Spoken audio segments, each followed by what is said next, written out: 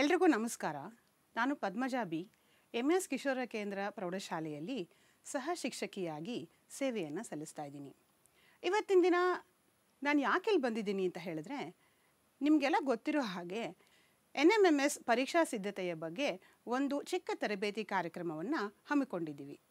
ಕರ್ನಾಟಕ ಸರ್ಕಾರ ಸಾರ್ವಜನಿಕ ಶಿಕ್ಷಣ ಇಲಾಖೆ ರಾಜ್ಯ ಶಿಕ್ಷಣ ಸಂಶೋಧನೆ ಮತ್ತು ತರಬೇತಿ ಇಲಾಖೆ, ಬೆಂಗಳೂರು, ಅಂದರೆ D S E R T ವತಿಯಿಂದ ಈ ಒಂದು ತರಬೇತಿ ಕಾರ್ಯಕ್ರಮವನ್ನು ಹಮ್ಮಿಕೊಳ್ಳಲಾಗಿದೆ. ಎನ್ ಎಂ ಎಂ ಎಸ್ ಪರೀಕ್ಷಾ ಸಿದ್ಧತೆಯ ಬಗ್ಗೆ ತಿಳ್ಕೊಳ್ಳೋದಕ್ಕೋಸ್ಕರ ಈ ಕಾರ್ಯಕ್ರಮವನ್ನು ನಡೆಸ್ಕೊಡ್ತಾ ಇದ್ದೀವಿ. ಎನ್ ಎಂ ಎಂ ಎಸ್ ಅಂದರೆ ಏನು? National means cum merit scholarship ಪರೀಕ್ಷೆ ಅಂತ ಇದರ ಹೆಸರು. ಇದು ಎರಡು ಪತ್ರಿಕೆ ಇರುತ್ತೆ, ಒಂದು ಜಿ ಮ್ಯಾಟ್ ಮತ್ತೊಂದು ಸ್ಯಾಟ್. ಜಿ ಮ್ಯಾಟಲ್ಲಿ ನಿಮಗೆ ಬರುವಂಥ ಪ್ರಶ್ನೆಗಳೆಲ್ಲ ಲಾಜಿಕಲ್ ರೀಸನಿಂಗ್ ಮತ್ತು ನಿಮ್ಮ ಮ್ಯಾಥ್ಸ್ ಬಗ್ಗೆ, ಅದ್ರ ಬಗ್ಗೆ ಎಲ್ಲನೂ ಜಿ ಮ್ಯಾಟ್ ಪತ್ರಿಕೆಯಲ್ಲಿ ಬರುತ್ತೆ. ಆದರೆ ಸ್ಯಾಟಲ್ಲಿ ನಿಮಗೆ ಗಣಿತ, ವಿಜ್ಞಾನ ಮತ್ತು ಸಮಾಜ ವಿಜ್ಞಾನ ಈ ಮೂರು ವಿಷಯಗಳ ಬಗ್ಗೆ ನಿಮಗೆ ತೊಂಬತ್ತು ಅಂಕಗಳಷ್ಟು ಪ್ರಶ್ನೆಗಳು ಬರ್ತವೆ. ಈಗ ಸಮಾಜ ವಿಜ್ಞಾನ ಮಾದರಿ ಪ್ರಶ್ನೆ ಪತ್ರಿಕೆಯ ಬಗ್ಗೆ ಒಂದು ಚಿಕ್ಕದಾಗಿ ಡಿಸ್ಕಷನ್ ಮಾಡೋಣ. ಆದರೆ ಅದಕ್ಕಿಂತ ಮುಂಚೆ ಎನ್ ಎಂ ಎಂ ಎಸ್ ಪರೀಕ್ಷೆಯನ್ನು ಯಾರು ತಗೊಳ್ಬೋದು, ಯಾಕೆ ತಗೊಳ್ಬೋದು ಅದನ್ನು ನಾವು ಮೊದಲು ವಿವರವಾಗಿ ತಿಳ್ಕೊಳ್ಳೋಣ. ಸರ್ಕಾರಿ ಮತ್ತು ಅನುದಾನಿತ ಶಾಲೆಯ ಎಲ್ಲ ಎಂಟನೆಯ ತರಗತಿ ವಿದ್ಯಾರ್ಥಿಗಳು ಈ ಪರೀಕ್ಷೆ ಎನ್ ಎಂ ಎಂ ಎಸ್ ಪರೀಕ್ಷೆಯನ್ನು ತಗೊಳ್ಳೋದಕ್ಕೆ ಅರ್ಹರಾಗಿರ್ತಾರೆ. ನಿಮಗೆ ಇದ್ರ ಬಗ್ಗೆ ಪೂರ್ಣ ಮಾಹಿತಿ ಬೇಕಾದರೆ ನಮ್ಮ D S E R T ವೆಬ್ಸೈಟಲ್ಲೂ ಸಹ ಅದರಲ್ಲಿ ನಾವು ವಿವರವಾಗಿ ಕೊಟ್ಟಿದ್ದೇವೆ. ಅದರ ಜೊತೆಗೆ ನಿಮ್ಮ ಶಿಕ್ಷಕಿಯರನ್ನು ಅಥವಾ ನಿಮ್ಮ ಶಿಕ್ಷಕರನ್ನು, ಅಥವಾ ನಿಮ್ಮ ಮುಖ್ಯೋಪಾಧ್ಯಾಯರನ್ನು ಕೇಳಿದ್ರೆ ಅವರು ಡೀಟೇಲ್ ಆಗಿ ನಿಮಗೆ ಇದ್ರ ಬಗ್ಗೆ ಹೇಳ್ತಾರೆ. ಯಾಕೆ ನಾವು ಎನ್ ಎಂ ಎಂ ಎಸ್ ಪರೀಕ್ಷೆಯನ್ನು ತಗೊಳ್ಬೇಕು? ಇದಕ್ಕೆ ಉತ್ತರ ಇಲ್ಲಿದೆ. ಎನ್ ಎಂ ಎಂ ಎಸ್ ಪರೀಕ್ಷೆ ನಿಮಗೆ ಒಂಥರ ಸ್ಪರ್ಧಾತ್ಮಕ ಪರೀಕ್ಷೆ ತಗೊಂಡ ಹಾಗೆ ಇರುತ್ತೆ. ಕಾಂಪಿಟೇಟಿವ್ ಎಕ್ಸಾಮ್ಸ್ ಅಂತ ಹೇಳ್ತೀವಿ. ಇನ್ನು ಮುಂದಕ್ಕೆ ನೀವು ಯಾವುದೇ ರೀತಿಯ ಒಂದು ಕೋರ್ಸ್ಗಾಗಲಿ, ಒಂದು ಕೆಲಸಕ್ಕಾಗಲಿ ಹೋಗುವಾಗ ಈ ರೀತಿಯಾದ ಸ್ಪರ್ಧಾತ್ಮಕ ಪರೀಕ್ಷೆಗಳು ಇರ್ತವೆ. ನೀವು ಇವಾಗಿಂದಲೇ ಇದ್ರ ಬಗ್ಗೆ ತಿಳ್ಕೊಂಡು ಈ ಪರೀಕ್ಷೆಗಳನ್ನ ಬರಿತಾ ಹೋದರೆ ಮುಂದಕ್ಕೆ ನಿಮಗೆ ತುಂಬ ಉಪಯೋಗ ಆಗುತ್ತೆ. ಹಾಗಾಗಿ ಎನ್ ಎಂ ಎಂ ಎಸ್ ತಗೊಳ್ಳೋವಂಥದ್ದು ಒಂದು ಸುವರ್ಣ ಅವಕಾಶ ಇದನ್ನು ಯಾರೂ ಬಿಡಬಾರ್ದು. ಎಲ್ಲ ಎಂಟನೇ ತರಗತಿಯ ಮಕ್ಕಳು, ಸರ್ಕಾರಿ ಮತ್ತು ಅನುದಾನಿತ ಶಾಲೆಯ ಮಕ್ಕಳು ಈ ಎನ್ ಎಂ ಎಂ ಎಸ್ ಪರೀಕ್ಷೆಯನ್ನು ತೆಗೆದುಕೊಳ್ಬೋದು. ಈ ಎನ್ ಎಂ ಎಂ ಎಸ್ ಪರೀಕ್ಷೆ ಹೇಗಿರುತ್ತೆ? ಯಾವ ರೀತಿಯಾದ ಪ್ರಶ್ನೆಗಳು ಕೊಡ್ತಾರೆ? ಅದ್ರ ಬಗ್ಗೆ ನಾವೀಗ ತಿಳ್ಕೊಳ್ಳೋಣ. ಈ ಎನ್ ಎಂ ಎಂ ಎಸ್ ಪರೀಕ್ಷೆಯಲ್ಲಿ ಎಲ್ಲ ಪ್ರಶ್ನೆಗಳು ಬಹು ಆಯ್ಕೆ ಪ್ರಶ್ನೆಗಳಾಗಿರುತ್ತವೆ. ಬಹು ಆಯ್ಕೆ ಪ್ರಶ್ನೆಗಳು ಅಂದರೆ ಏನು ಮಕ್ಕಳ? ಎಂ ಸಿ ಕ್ಯೂ ಪ್ರಶ್ನೆಗಳು. ಅಂದರೆ ಒಂದು ಪ್ರಶ್ನೆಯನ್ನು ಕೊಟ್ಟಿರ್ತಾರೆ, ನಾಲ್ಕು ಆಯ್ಕೆಗಳನ್ನ ಕೊಟ್ಟಿರ್ತಾರೆ. ಆ ನಾಲ್ಕು ಆಯ್ಕೆಗಳಲ್ಲಿ ಯಾವುದು ಸರಿಯಾದ ಉತ್ತರ ಅಂತ ನೀವು ಹೇಳಬೇಕಾಗತ್ತೆ. ಅದು ಬಹು ಆಯ್ಕೆ ಪ್ರಶ್ನೆಗಳು. ಸಮಾಜ ವಿಜ್ಞಾನದಲ್ಲಿ ನೀವು ಒಂದು ಮಾರ್ಕ್ ಪ್ರಶ್ನೆ, ಎರಡು ಮಾರ್ಕ್, ಮೂರು ಮಾರ್ಕ್, ನಾಲ್ಕು ಮಾರ್ಕ್ ಪ್ರಶ್ನೆಗಳು ಸಹ ನೀವು ಬರೆದಿದ್ದೀರಿ. ಹಾಗಾದರೆ ಎಲ್ಲ ವಿಷಯವನ್ನು ಸಹ ನಾವು ಬಹು ಆಯ್ಕೆ ಪ್ರಶ್ನೆಗಳಾಗಿ ಹೇಗೆ ಮಾಡ್ತೀವಿ? ಅದನ್ನು ನಾವೀಗ ನೋಡೋಣ. ಎಲ್ಲ ಪ್ರಶ್ನೆಗಳು ಕಡ್ಡಾಯ. ಯಾವ ಪ್ರಶ್ನೆಯನ್ನು ನೀವು ಬಿಡೋ ಹಾಗಿಲ್ಲ. ಎಲ್ಲ ಪ್ರಶ್ನೆಗಳನ್ನು ನೀವು ಅಟೆಂಪ್ಟ್ ಮಾಡಲೇಬೇಕು. ಪ್ರತಿ ಪ್ರಶ್ನೆಗೆ ಒಂದು ಅಂಕವಿದೆ ಮತ್ತು ಯಾವುದೇ ಋಣಾತ್ಮಕ ಅಂಕ ಇರುವುದಿಲ್ಲ. ಪ್ರತಿ ಸರಿಯಾದ ಉತ್ತರಕ್ಕೆ ಒಂದು ಅಂಕವನ್ನು ನೀಡಲಾಗುವುದು. ಪ್ರತಿ ಪ್ರಶ್ನೆಗೆ ಒಂದು ಮಾರ್ಕ್ ಇರುತ್ತೆ. ಅಕಸ್ಮಾತ್ ನೀವು ಸರಿಯಾಗಿ ಬರೆದ್ರೆ ನಿಮ್ಗೆ ಆ ಒಂದು ಮಾರ್ಕ್ ಸಿಗುತ್ತೆ. ತಪ್ಪಾಗ್ಬಿಟ್ರೆ ಏನು ಮಾಡೋದು? ಹಾಗಂತೇಳಿ ನೀವೇನು ಬೇಜಾರು ಮಾಡ್ಕೊಳ್ಳೋದು ಬೇಡ. ಯಾಕೆಂದರೆ ಋಣಾತ್ಮಕ ಅಂಕ ಇರುವುದಿಲ್ಲ. ನಿಮಗೆ ಯಾವುದೇ ನೆಗೆಟಿವ್ ಮಾರ್ಕಿಂಗ್ ಇರೋದಿಲ್ಲ. ನೀವು ಬರೆಯುವಂಥ ಸರಿಯಾದ ಉತ್ತರಕ್ಕೆ ಒಂದು ಮಾರ್ಕ್ ಸಿಗುತ್ತೆ. ಹಾಗಾದರೆ ನಾವು ಆನ್ಸರನ್ನು ಎಲ್ಲಿ ಮಾರ್ಕ್ ಮಾಡಬೇಕು? ಒ ಎಂ ಆರ್ ಪುಟದಲ್ಲಿ ಮಾರ್ಕ್ ಮಾಡಬೇಕು. ಪ್ರಶ್ನೆ ಪತ್ರಿಕೆ ಬೇರೆ ಇರುತ್ತೆ. ಒ ಎಂ ಆರ್ ಪುಟ ಬೇರೆ ಇರುತ್ತೆ. ಒ ಎಂ ಆರ್ ಪುಟದಲ್ಲಿ ಹೇಗೆ ಮಾರ್ಕ್ ಮಾಡಬೇಕು? ನೋಡಿ ಇಲ್ಲಿದೆ ಹೇಳ್ತೀನಿ. ಒ ಎಂ ಆರ್ ಪುಟದಲ್ಲಿ ಪ್ರತಿ ಪ್ರಶ್ನೆ ಸಂಖ್ಯೆಗೆ ಸರಿಹೊಂದುವ ಉತ್ತರವನ್ನು ಗುರುತಿಸಲು ನೀಡಿರುವ ನಾಲ್ಕು ವೃತ್ತಗಳ ಪೈಕಿ ಸರಿಯಾದ ಉತ್ತರದ ಒಂದು ವೃತ್ತವನ್ನು ನೀಲಿ ಅಥವಾ ಕಪ್ಪು ಬಾಲ್ ಪಾಯಿಂಟ್ ಪೆನ್ ಉಪಯೋಗಿಸಿ ಶೇಡ್ ಮಾಡಿ. ಒ ಎಂ ಆರ್ ಪುಟದಲ್ಲಿ ನಿಮಗೆ ಪ್ರತಿಯೊಂದು ಪ್ರಶ್ನೆಗೆ ಸರಿ ಹೊಂದೋ ಹಾಗೆ ಎ ಬಿ ಸಿ ಡಿ ಅಥವಾ ಒನ್ ಟೂ ತ್ರೀ ಫೋರ್ ಅಂತ ಆಯ್ಕೆಗಳನ್ನ ಕೊಟ್ಟಿರ್ತಾರೆ. ನಿಮಗೆ ಅದರ ಪೈಕಿ ಯಾವುದು ಸರಿಯಾದ ಆಯ್ಕೆ, ಯಾವುದು ಸರಿಯಾದ ಉತ್ತರ ಅಂತ ನೋಡಿಕೊಂಡು ಆ ವೃತ್ತವನ್ನು, ಆ ಸರ್ಕಲ್ನ ಬಬಲ್ ಮಾಡಬೇಕು. ಅದು ನಿಮಗೆಲ್ಲ ಗೊತ್ತಿದೆ ಹೇಗೆ ಬಬಲ್ ಮಾಡಬೇಕಂತ. ನೀಲಿ ಅಥವಾ ಕಪ್ಪು ಬಾಲ್ ಪಾಯಿಂಟ್ ಪೆನ್ನನ್ನು ಉಪಯೋಗಿಸಿ ಬಬಲ್ ಮಾಡಬೇಕಾಗತ್ತೆ. ಈಗ ಪ್ರಶ್ನೆಗಳ ಸ್ವರೂಪ ಹೇಗಿರುತ್ತೆ? ನಾನು ಆವಾಗಲೇ ಹೇಳಿದೆ ನಿಮಗೆ, ಸಮಾಜ ವಿಜ್ಞಾನದಲ್ಲಿ ದೊಡ್ಡ ಆನ್ಸರ್ಸೇ ಜಾಸ್ತಿ ಇರೋದು. ಎರಡು ಮಾರ್ಕ್, ಮೂರು ಮಾರ್ಕ್, ನಾಲ್ಕು ಮಾರ್ಕ್, ಎರಡು ಪಾಯಿಂಟ್ ಬರೀಬೇಕು, ಮೂರು ಪಾಯಿಂಟ್ ಬರೀಬೇಕು, ಟೀಚರ್ಸ್ ಹೇಳ್ತಾನೆ ಇರ್ತಾರೆ. ಹಾಗಿದ್ರೆ ಸಮಾಜ ವಿಜ್ಞಾನದಲ್ಲಿ ಪ್ರಶ್ನೆಗಳ ಸ್ವರೂಪ ಹೇಗಿರುತ್ತೆ? ಈಗ ನೋಡೋಣ. ಪರಿಕಲ್ಪನೆ ಅಥವಾ ಹೇಳಿಕೆಯನ್ನು ಪೂರ್ಣಗೊಳಿಸಿ. ಅಂತ ಹೇಳಿದ್ರೆ, ಬಿಟ್ಟ ಸ್ಥಳ ತುಂಬಿರಿ ಅಥವಾ ಫಿಲ್ ಇನ್ ದ ಬ್ಲ್ಯಾಂಕ್ಸ್ ಅಂತ ಹೇಳ್ತೀವಿ. ಅಂತಹ ಪ್ರಶ್ನೆಗಳು ಪರಿಕಲ್ಪನೆ ಅಥವಾ ಹೇಳಿಕೆಯನ್ನು ಪೂರ್ಣಗೊಳಿಸಿ. ಎರಡನೇದು ನೋಡಿ, ವಾಕ್ಯಗಳ ನಡುವಿನ ಸಂಬಂಧವನ್ನು ಗುರುತಿಸುವುದು. ಎರಡು ವಾಕ್ಯಗಳನ್ನ ಕೊಡ್ತಾರೆ, ಒಂದು ಹೇಳಿಕೆ ಇರುತ್ತೆ, ಮತ್ತೊಂದು ಕಾರಣ ಇರುತ್ತೆ. ಈ ಹೇಳಿಕೆಗೆ ಕಾರಣ ಸರಿಯಾಗಿದೆಯಾ? ಈ ಕಾರಣಕ್ಕೆ ಹೇಳಿಕೆ ಸರಿಯಾಗಿದೆಯಾ? ಅಥವಾ ಎರಡೂ ಸರಿ ಇಲ್ವಾ?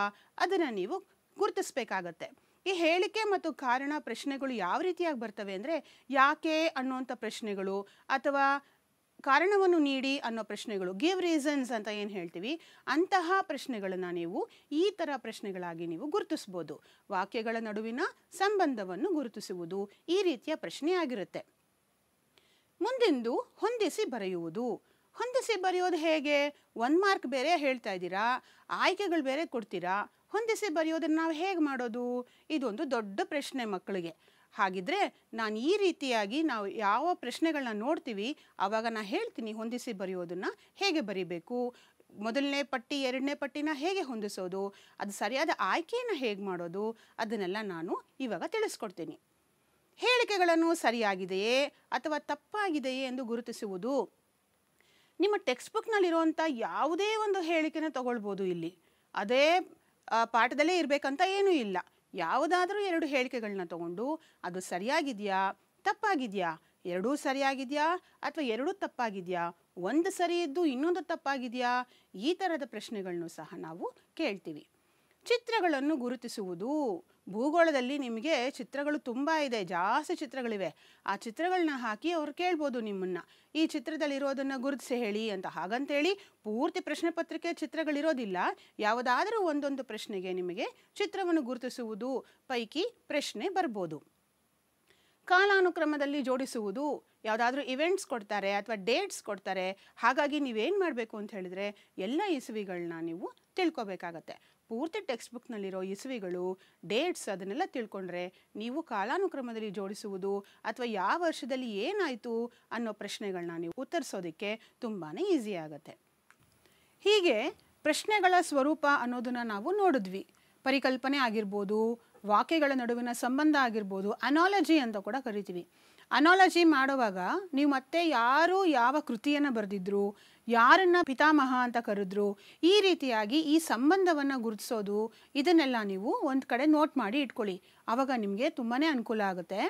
ಹೊಂದಿಸಿ ಬರೆಯುವುದು ನಿಮಗೆ ಯಾವ ರೀತಿನಲ್ಲಾದರೂ ಬರ್ಬೋದು. ನಾನು ಆವಾಗಲೇ ಹೇಳ್ದಾಗೆ ಬಹು ಆಯ್ಕೆ ಪ್ರಶ್ನೆ ಆಗಿರೋದ್ರಿಂದ ಹೊಂದಿಸಿ ಬರೆಯುವುದು, ಇದಕ್ಕೆ ಹೇಗೆ ತಯಾರಿ ಮಾಡಿಕೊಳ್ಬೇಕು ನೀವು? ಮತ್ತೆ ದೇಶೀಯ ಕೃತಿ, ವಿದೇಶೀಯ ಕೃತಿ, ಯಾರು ಯಾವ ಕೃತಿಯನ್ನು ಬರೆದ್ರು, ಯಾವ ಲೇಖಕರನ್ನು ಯಾವ ಹೆಸರಿಂದ ಕರಿತೀವಿ, ಹೀಗೆ ಪ್ರತಿಯೊಂದನ್ನು ನೀವು ಬರೆದಿಟ್ಕೊಳ್ಬೇಕಾಗತ್ತೆ.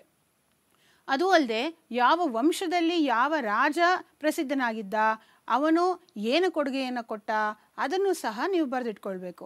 ಇದರ ಜೊತೆಗೆ ನೀವು ನಾಗರಿಕತೆಗಳನ್ನು ಓದಿದ್ದೀರಿ ಗ್ರೀಕ್ ನಾಗರಿಕತೆ, ಮತ್ತು ಈಜಿಪ್ಷಿಯನ್ ನಾಗರಿಕತೆ, ಬ್ಯಾಬಿಲೋನಿಯನ್ ನಾಗರಿಕತೆ ಮೆಸಪಟೋಮಿಯನ್ ನಾಗರಿಕತೆ, ಇದರಲ್ಲೆಲ್ಲ ಅವರು ಕೊಟ್ಟಿರುವಂತಹ ಕೊಡುಗೆಗಳು ಏನು, ಮತ್ತು ಅದರ ಒಂದು ಮಹತ್ವ ಏನು, ಅದನ್ನೆಲ್ಲನೂ ನೀವು ಕಲ್ತ್ಕೋಬೇಕಾಗತ್ತೆ ಅದನ್ನೆಲ್ಲ ನೀವು ಕಲ್ತ್ಕೊಳ್ಳೋವಾಗ ಬರ್ಕೊಂಡು ಅದನ್ನು ಯೂಸ್ ಮಾಡ್ಕೊಳ್ಬೋದು, ಅಥವಾ ಅದು ಯಾವುದಾದ್ರೂ ಒಂದು ರೀತಿಯಲ್ಲಿ ನೀವು ದೃಶ್ಯೀಕರಣ ಮಾಡ್ಕೋಬೋದು, ಹೀಗೆ ಏನಾದರೂ ಮಾಡಿ ಹೊಂದಿಸಿ ಬರೆಯುವುದು, ಅದನ್ನು ನೀವು ಬಿಡೋ ಹಾಗೇ ಇಲ್ಲ.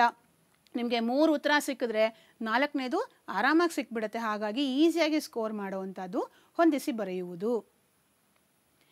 ಇನ್ನೊಂದು ನಾನು ಹೇಳಿದಾಗೆ ನಿಮಗೆ ಹೇಳಿಕೆ ಸರಿಯಾಗಿದೆ ಅಥವಾ ತಪ್ಪಾಗಿದೆ? ಇದರಲ್ಲಿ ಏನಾಗುತ್ತೆ ಅಂತ ಹೇಳಿದ್ರೆ ನಿಮ್ಗೆ ಯಾವುದಾದ್ರೂ ಒಂದು ಒಂದು ಸ್ವಲ್ಪ ಕನ್ಫ್ಯೂಸ್ ಆಗಿ ಹೇಳಿಕೆ ಸರಿಯಾಗಿದೆಯಾ, ತಪ್ಪಾಗಿದೆಯಾ ಅಂತ ಒಂಚೂರು ಕನ್ಫ್ಯೂಸ್ ಆಗಿಬಿಟ್ರು ನೀವು ಒಂದು ಅಂಕನ ಕಳ್ಕೊಂಡ್ಬಿಡ್ತೀರಾ ಅಲ್ಲಿ.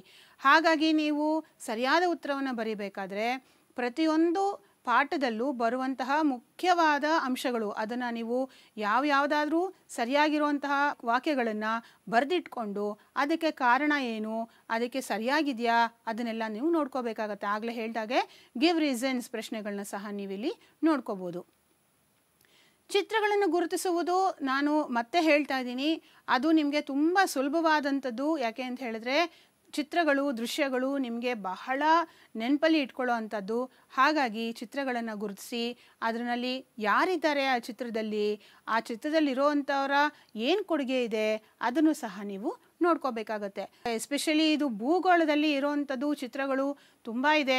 ಮತ್ತು ಇತಿಹಾಸದಲ್ಲಿ ತುಂಬ ಚಿತ್ರಗಳಿವೆ. ಅದನ್ನೆಲ್ಲ ನೀವು ಓದಿ, ಬೇಕಾದರೆ ಅದನ್ನೆಲ್ಲ ಕಟ್ ಮಾಡಿಕೊಂಡು ಒಂದು ದೊಡ್ಡ ಚಾರ್ಟ್ನಲ್ಲಿ ಅಂಟಿಸ್ಕೊಂಡು ನಿಮ್ಮ ಮನೆಯ ಗೋಡೆಯ ಮೇಲೋ ಅಥವಾ ನಿಮ್ಮ ನೀವು ಎಲ್ಲಿ ಓದ್ತಿರೋ ಆ ಜಾಗದಲ್ಲೋ ಸ್ವಲ್ಪ ಇಟ್ಕೊಂಡಿದ್ರೆ ಅದನ್ನು ನೋಡ್ತಾ ಇದ್ದ ಹಾಗೆ ನೀವು ತುಂಬ ಈಸಿಯಾಗಿ ಈ ಪ್ರಶ್ನೆಗಳಿಗೆ ಉತ್ತರವನ್ನು ಕೊಡ್ಬೋದು. ಕಾಲಾನುಕ್ರಮದಲ್ಲಿ ಜೋಡಿಸುವುದು ನಾನು ಆವಾಗಲೇ ಹೇಳಿದೆ ನಿಮಗೆ. ಹೇಗೆ ಇಸವಿಗಳನ್ನು ಮತ್ತು ವರ್ಷಗಳನ್ನು ಕೇಳ್ತೀವಿ, ಅದನ್ನು ನೀವು ನೋಡ್ಕೋಬೇಕಾಗತ್ತೆ. ಸೊ ಪ್ರಶ್ನೆಗಳ ಸ್ವರೂಪ ಹೀಗಿರೋದು ನಾನು ಪದೇ ಪದೇ ಇದ್ರ ಬಗ್ಗೆ ಹೇಳ್ತಾ ಇದ್ದೀನಿ. ಯಾಕೆ ಅಂತ ಹೇಳಿದ್ರೆ, ಬರೆಯೋದು ಒಂದು ಆನ್ಸರ್ ಬರೆಯೋದು ತುಂಬಾ ಈಸಿ ಆದರೆ ನಾಲ್ಕು ಆಯ್ಕೆಗಳಲ್ಲಿ ಸರಿಯಾದ ಉತ್ತರ ಯಾವುದು? ಅದನ್ನು ನಾವು ಗುರುತಿಸಿ, ಅದನ್ನು ಶೇಡ್ ಮಾಡಿ, ಒಂದು ಅಂಕ ಸಹ ನಾವು ಅದನ್ನು ಬಿಡೋ ಹಾಗಿಲ್ಲ. ಹಾಗಾಗಿ ಪ್ರಶ್ನೆಗಳ ಸ್ವರೂಪ ತುಂಬ ಮುಖ್ಯವಾಗುತ್ತೆ. ಇದು ಹಿಂದಿನ ವರ್ಷದ ಪ್ರಶ್ನೆ ಪತ್ರಿಕೆಗಳು. ಅದರ ಬಗ್ಗೆ ನಾನೀಗ ಮಾತಾಡ್ತಾ ಇದ್ದೀನಿ. ಈಗ ಒಂದು ಪತ್ರಿಕೆಯನ್ನು ನಾನು ತಗೊಂಡಿದ್ದೀನಿ. ಇದರಲ್ಲಿ ಡಿವೈಡ್ ಆಗುತ್ತೆ. ಪಾರ್ಟ್ ವೈಸ್ ಇದೆ. ಅಂದರೆ ಇತಿಹಾಸ ಬೇರೆ ಇದೆ, ಭೂಗೋಳ ಬೇರೆ ಇದೆ. ಹಾಗೆ ನಾವು ಹೋಗ್ತಾ ಒಂದೊಂದು ಪಾರ್ಟನ್ನು ಸಹ ನಿಧಾನವಾಗಿ ಯಾವ ಪ್ರಶ್ನೆ ಕೊಟ್ಟಿದ್ದಾರೆ, ಅದರ ಆಯ್ಕೆ ಯಾವುದು ಸರಿ ಇದೆ, ಹೇಗೆ ಇದನ್ನು ಓದಬೇಕು ಅನ್ನೋದನ್ನು ನೋಡೋಣ. ಪ್ರಶ್ನೆ ನೋಡಿ. ದೇಶೀಯ ಸಾಹಿತ್ಯ ಕೃತಿಗಳಲ್ಲಿ ಒಂದಾದ ರಾಜತರಂಗಿಣಿಯನ್ನು ಬರೆದವರು ಯಾರು? ರಾಜತರಂಗಿಣಿ ಅನ್ನೋದು ಒಂದು ದೇಶೀಯ ಸಾಹಿತ್ಯ ಕೃತಿ. ನಿಮಗೆ ಗೊತ್ತಿರ್ಬೋದು, ದೇಶೀಯ ಮತ್ತು ವಿದೇಶೀಯ ಅಂತ ಎರಡು ಸಾಹಿತ್ಯ ಕೃತಿಗಳಿವೆ. ಹಾಗಾದರೆ ರಾಜತರಂಗಿಣಿಯನ್ನು ಬರೆದವರು ಯಾರು? ನೋಡೋಣವಾ ಯಾರು ಅಂತ? ಇಲ್ಲಿ ನಾಲ್ಕು ಆಯ್ಕೆಗಳನ್ನ ಕೊಟ್ಟಿದ್ದಾರೆ. ಕೌಟಿಲ್ಯ, ಕಲ್ಹಣ, ಕಾಳಿದಾಸ, ಪಂಪ. ಈ ನಾಲ್ಕು ಜನ ದೇಶೀಯ ಸಾಹಿತ್ಯಕ್ಕೆ ಕೊಡುಗೆ ಕೊಟ್ಟಿರೋಂಥವ್ರೇನೆ, ಹಾಗಾಗಿ ನಮಗೆ ಕನ್ಫ್ಯೂಸ್ ಆಗಿಬಿಡುತ್ತೆ. ಯಾರಿಗೆ ಬರೆದಿರ್ಬೋದು ಇದು ಅಂತ. ಅದಕ್ಕೆ ನೀವೇನು ಮಾಡಬೇಕು, ಯಾವುದಾದ್ರೂ ಒಂದು ಪಾಠದಲ್ಲಿ ಇಂತಹ ಸಾಹಿತ್ಯವನ್ನು ಇಂಥವ್ರು ಬರೆದಿದ್ದಾರೆ, ಇಂತಹ ಕೃತಿಗಳನ್ನ ಈ ಕವಿ ಬರೆದಿದ್ದಾನೆ ಅಂದಾಗ ನೀವು ಅದನ್ನು ಒಂದು ಚಿಕ್ಕದಾಗಿ ಎಲ್ಲಾದರೂ ಒಂದು ಪುಸ್ತಕದಲ್ಲಿ ನೋಟ್ ಮಾಡ್ಕೋಬೇಕು. ಆವಾಗ ನಿಮಗೆ ಇಂತಹ ಪ್ರಶ್ನೆ ಬಂದಾಗ ಉತ್ತರಿಸೋದಕ್ಕೆ ಈಸಿ ಆಗುತ್ತೆ. ನೋಡಿ, ಉತ್ತರ ಬಂದು ಕಲ್ಹಣ. ಕಲ್ಹಣ ಸರಿಯಾದ ಉತ್ತರ. ಎರಡನೇ ಪ್ರಶ್ನೆ ನೋಡಿ. ಜಿಗುರಾತ್ಗಳನ್ನು ಬೆಬೆಲ್ನ ಗೋಪುರಗಳು ಅಂತ ಯಾರು ಕರೆದ್ರು? ಈ ಜಿಗುರಾತನ ಪ್ರಶ್ನೆ ಎತ್ತರಲ್ಲಿ ಬರುತ್ತೆ, ನಾಗರಿಕತೆ. ಆ ಪಾಠದಲ್ಲಿ ಬರುತ್ತೆ ಗ್ರೀಕ್ ನಾಗರಿಕತೆ, ರೋಮನ್ ನಾಗರಿಕತೆ. ಇಂತಹ ನಾಗರಿಕತೆಗಳಲ್ಲಿ ಈ ಪ್ರಶ್ನೆಗಳು ಬರುತ್ತೆ. ಬೆಬೆಲ್ನ ಗೋಪುರಗಳನ್ನು, ಜಿಗುರತ್ಗಳನ್ನ ಬೆಬೆಲ್ನ ಗೋಪುರಗಳು ಅಂತ ಯಾರು ಕರೆದ್ರು? ಇಲ್ಲಿ ಮತ್ತೆ ನಮ್ಮ ಹತ್ರ ನಾಲ್ಕು ಆಯ್ಕೆಗಳಿವೆ. ಯಹೂದಿಗಳು, ಗ್ರೀಕರು, ಬ್ಯಾಬಿಲೋನಿಯನ್ನರು ಮತ್ತೆ ಸುಮೇರಿಯನ್ನರು. ಇದರಲ್ಲಿ ಸರಿಯಾದ ಉತ್ತರ ಯಾವುದು? ಯಹೂದಿಗಳು. ಯಹೂದಿಗಳು ಬೆಬೆಲ್ನ ಗೋಪುರಗಳು ಅಂತ ಕರೆದ್ರು ಜಿಗರತ್ಗಳನ್ನು. ನಾಗರಿಕತೆಯ ಕಾಲದಲ್ಲಿ ಅವರದೇ ಆದಂತಹ ಒಂದು ಕೊಡುಗೆಯನ್ನು ಕೊಟ್ಟಿದ್ದಾರೆ. ನಮ್ಮ ಹಳೆಯ ನಾಗರಿಕತೆಯವರು, ಈಜಿಪ್ಷಿಯನ್ ನಾಗರಿಕತೆಯವರು, ಮೆಸಪಟೋಮಿಯನ್ ಅವರು, ಹಾಗೆ ನಾವು ಯಾರ್ಯಾರು ಏನೇನು ಕೊಡುಗೆಗಳನ್ನ ಕೊಟ್ಟಿದ್ದಾರೆ ಅನ್ನೋದನ್ನು ನಾವು ನೋಟ್ ಮಾಡ್ಕೊಳ್ಬೇಕಾಗತ್ತೆ. ಈ ಪ್ರಶ್ನೆಯನ್ನು ನೋಡಿ. ಕೆಳಗಿನ ಹೇಳಿಕೆಗಳನ್ನು ಓದಿ ಮತ್ತು ಸರಿಯಾದದ್ದನ್ನು ಮಾತ್ರ ಆಯ್ಕೆ ಮಾಡಿ ನೋಡೋಣ ಈಗ ಹೇಳಿಕೆಗಳೇನು ಕೊಟ್ಟಿದ್ದಾರೆ ಅಂತ? ಮೊಹೆಂಜದಾರೋ ಎಂಬ ಪಟ್ಟಣದಲ್ಲಿ ಒಂದು ನೀರಿನ ಕೊಳವನ್ನು ಕಟ್ಟಲಾಗಿತ್ತು. ಎರಡನೇದು ನೋಡಿ, ಎಲ್ಲ ವೇದಗಳಲ್ಲಿ ಋಗ್ವೇದ ಮೊದಲಿನದು. ಇಲ್ಲಿ ನೋಡಿದ್ರೆ ನೀವು ಎರಡು ಬೇರೆ ಬೇರೆ ಪಾಠದಿಂದ ತಗೊಂಡಿರುವಂತಹ ಹೇಳಿಕೆಗಳು. ಮೊದಲನೇದು ಮೊಹೆಂಜದಾರೋ ಬಗ್ಗೆ ಮಾತಾಡಿದ್ದಾರೆ. ಎರಡನೇ ವಾಕ್ಯದಲ್ಲಿ ಋಗ್ವೇದದ ಬಗ್ಗೆ ಮಾತಾಡಿದ್ದಾರೆ. ಹಾಗಾಗಿ ಇವೆರಡೂ ವಾಕ್ಯಗಳು ಸರಿಯಾಗಿದೆಯಾ, ತಪ್ಪಾಗಿದೆಯಾ? ಹಾಗಿದ್ರೆ ಆಯ್ಕೆ ಏನು? ಆಯ್ಕೆ ಒಂದು, ಎ ಸರಿಯಾಗಿದೆ ಮತ್ತು ಬಿ ತಪ್ಪಾಗಿದೆ. ಎರಡನೇ ಆಯ್ಕೆ ನೋಡಿ, ಎ ಮತ್ತು ಬಿ ಎರಡೂ ಸರಿಯಾಗಿದೆ. ಮೂರನೇ ಆಯ್ಕೆ, ಎ ತಪ್ಪಾಗಿದೆ ಮತ್ತು ಬಿ ಸರಿಯಾಗಿದೆ. ನಾಲ್ಕನೇ ಆಯ್ಕೆ, ಡಿ, ಎ ಮತ್ತು ಬಿ ಎರಡೂ ತಪ್ಪಾಗಿದೆ. ಹಾಗಿದ್ರೆ ಏನು ಉತ್ತರ ಆಗಿರ್ಬೋದು? ಹೌದು. ಎ ಮತ್ತು ಬಿ ಎರಡೂ ಸರಿಯಾಗಿದೆ. ಆಯ್ಕೆ ಬಿ ಸರಿಯಾದ ಉತ್ತರ. ಮೊಹೆಂಜದಾರೋ ಪಟ್ಟಣದಲ್ಲಿ ಒಂದು ದೊಡ್ಡ ನೀರಿನ ಕೊಳವನ್ನು ಕಟ್ಟಿದ್ರು. ಈ ಚಿತ್ರ ನಿಮ್ಮ ಪಾಠದಲ್ಲೂ ಸಹ ಇದೆ. ಅದ್ರ ಜೊತೆಗೆ ನಾಲ್ಕು ವೇದಗಳ ಬಗ್ಗೆ ಕೊಟ್ಟಿದ್ದಾರೆ ಇಲ್ಲಿ. ನಾಲ್ಕು ವೇದಗಳು ಯಾವುದು? ಋಗ್ವೇದ, ಯಜುರ್ವೇದ, ಸಾಮವೇದ ಮತ್ತು ಅಥರ್ವ ವೇದ ಈ ನಾಲ್ಕು ವೇದಗಳಲ್ಲಿ ಮೊದಲಿನ ವೇದ ಬಂದು ಋಗ್ವೇದ. ಕುರುಕ್ಷೇತ್ರ ಎಂದು ಕರೆಯಲಾಗುವ ಇಂದಿನ ಪ್ರದೇಶವು ಈ ಬುಡಕಟ್ಟಿನವರ ಸ್ಥಳವಾಗಿತ್ತು. ಇಲ್ಲಿ ಬುಡಕಟ್ಟಿನವರಿದ್ದಾರೆ ಇಲ್ಲಿ. ನಾಲ್ಕು ಆಯ್ಕೆಗಳಿವೆ. ಇಲ್ಲಿ ನೋಡಿ, ಆಪ್ಷನ್ ಎ ಎ ಆಯ್ಕೆ ಪಾಂಚಾಲ, ಎರಡನೇ ಆಯ್ಕೆ ವಶ, ಮೂರನೇ ಆಯ್ಕೆ ಕುರು, ನಾಲ್ಕನೇ ಆಯ್ಕೆ ಉಶೀನ. ಹಾಗಿದ್ರೆ ಈ ನಾಲ್ಕರಲ್ಲಿ ಯಾವ ಬುಡಕಟ್ಟಿನ ಜನಾಂಗದವರು ಅಲ್ಲಿದ್ರು? ಕರೆಕ್ಟ್. ಉತ್ತರ, ಆಪ್ಷನ್ ಸಿ, ಕುರು. ಕುರು ಅನ್ ಎನ್ನುವ ಬುಡಕಟ್ಟಿನವರು ಈ ಸ್ಥಳದಲ್ಲಿ ಇದ್ರು. ಈಗ ನೋಡಿ, ಕೆಳಗಿನ ವಾಕ್ಯಗಳನ್ನು ಓದಿ ಸರಿಯಾದ ಆಯ್ಕೆಯನ್ನು ಗುರುತಿಸಿ. ಯಾವ ವಾಕ್ಯಗಳನ್ನ ಕೊಟ್ಟಿದ್ದಾರೆ ಇಲ್ಲಿ? ಇಲ್ಲಿ ಮತ್ತೆ ಎರಡು ವಾಕ್ಯಗಳನ್ನ ಕೊಟ್ಟಿದ್ದಾರೆ. ಗ್ರೀಕರ ಜೀವನದಲ್ಲಿ ಕ್ರೀಡೆಯು ವಿಶೇಷ ಮಾನ್ಯತೆ ಪಡೆದಿತ್ತು. ಗ್ರೀಕರು ಮನೋವಿ ವಿಕಾಸಕ್ಕೆ ಆದ್ಯತೆ ಕೊಟ್ಟಂತೆಯೇ ದೈಹಿಕ ವಿಕಾಸಕ್ಕೂ ಗಮನ ಕೊಟ್ಟಿದ್ದರು. ಹಾಗಿದ್ರೆ ನಾವಿಲ್ಲಿ ಗ್ರೀಕ್ರ ಬಗ್ಗೆ ಮಾತಾಡ್ತಾ ಇದ್ದೀವಿ. ಗ್ರೀಕ್ ನಾಗರಿಕತೆಯ ಕಾಲದಲ್ಲಿ ಕ್ರೀಡೆಗೆ ವಿಶೇಷವಾದ ಮನ್ನಣೆ ಕೊಟ್ಟಿದ್ರು ಅಂತ ಕೊಟ್ಟಿದ್ದಾರೆ. ಹಾಗಿದ್ರೆ ಈ ವಾಕ್ಯಗಳು ಸರಿಯಾಗಿದೆಯಾ ಅಥವಾ ತಪ್ಪಾಗಿದೆಯಾ? ಮೊದಲು ಆಯ್ಕೆಗಳನ್ನ ನೋಡೋಣ ಮಕ್ಕಳೇ ಆಪ್ಷನ್ ಎ ನೋಡಿ. ಒಂದು ಮತ್ತು ಎರಡು, ಎರಡೂ ತಪ್ಪಾಗಿದೆ. ಮೊದಲನೇ ವಾಕ್ಯ ತಪ್ಪಾಗಿದೆ ಮತ್ತು ಎರಡನೇ ವಾಕ್ಯ ಸರಿಯಾಗಿದೆ. ಮೊದಲನೆಯ ಮತ್ತು ಎರಡನೆಯ ವಾಕ್ಯ ಎರಡೂ ಸರಿ, ಆದರೆ ಒಂದಕ್ಕೆ ಎರಡು ಸರಿಯಾದ ಕಾರಣವಲ್ಲ.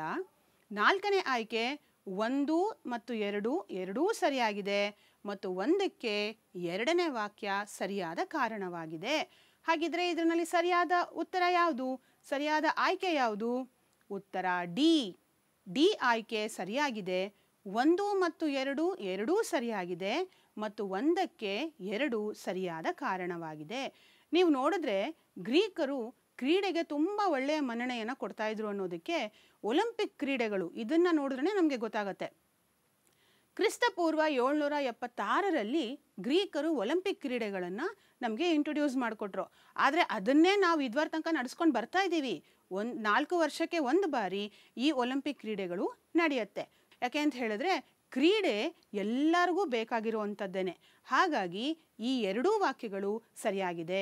ಹೇಗೆ ನಾವು ಮನೋವಿಕಾಸಕ್ಕೆ ಆದ್ಯತೆ ಕೊಡ್ತೀವೋ, ಹಾಗೆ ದೈಹಿಕ ವಿಕಾಸಕ್ಕೂ ಸಹ ಆದ್ಯತೆ ಕೊಡಬೇಕು ಅನ್ನೋದು ಅವಾಗಿನ ಕಾಲದಲ್ಲೇ ನೂರಾರು, ಸಾವಿರಾರು ವರ್ಷಗಳ ಹಿಂದೆಯೇ ಗ್ರೀಕರು ನಮಗೆ ಹೇಳಿದ್ರು.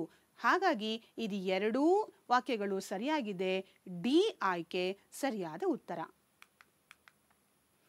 ವೈದ್ಯಶಾಸ್ತ್ರದ ಪಿತಾಮಹ ಅಂತ ಯಾರನ್ನ ಕರಿತೀವಿ? ಈ ಪಿತಾಮಹ ಅನ್ನೋದು ನಿಮಗೆ ಇತಿಹಾಸದ ಪಿತಾಮಹ, ಸಮಾಜಶಾಸ್ತ್ರದ ಪಿತಾಮಹ, ರಾಜ್ಯಶಾಸ್ತ್ರದ ಪಿತಾಮಹ, ಹೀಗೆ ಎಷ್ಟೋ ಜನಕ್ಕೆ ನಾವು ಒಂದೊಂದು ಹೆಸರನ್ನ ಕೊಟ್ಟಿದ್ದೀವಿ. ಹಾಗಿದ್ರೆ ವೈದ್ಯಶಾಸ್ತ್ರದ ಪಿತಾಮಹ ಅಂತ ಯಾರನ್ನ ಕರಿತೀವಿ ನಾವು?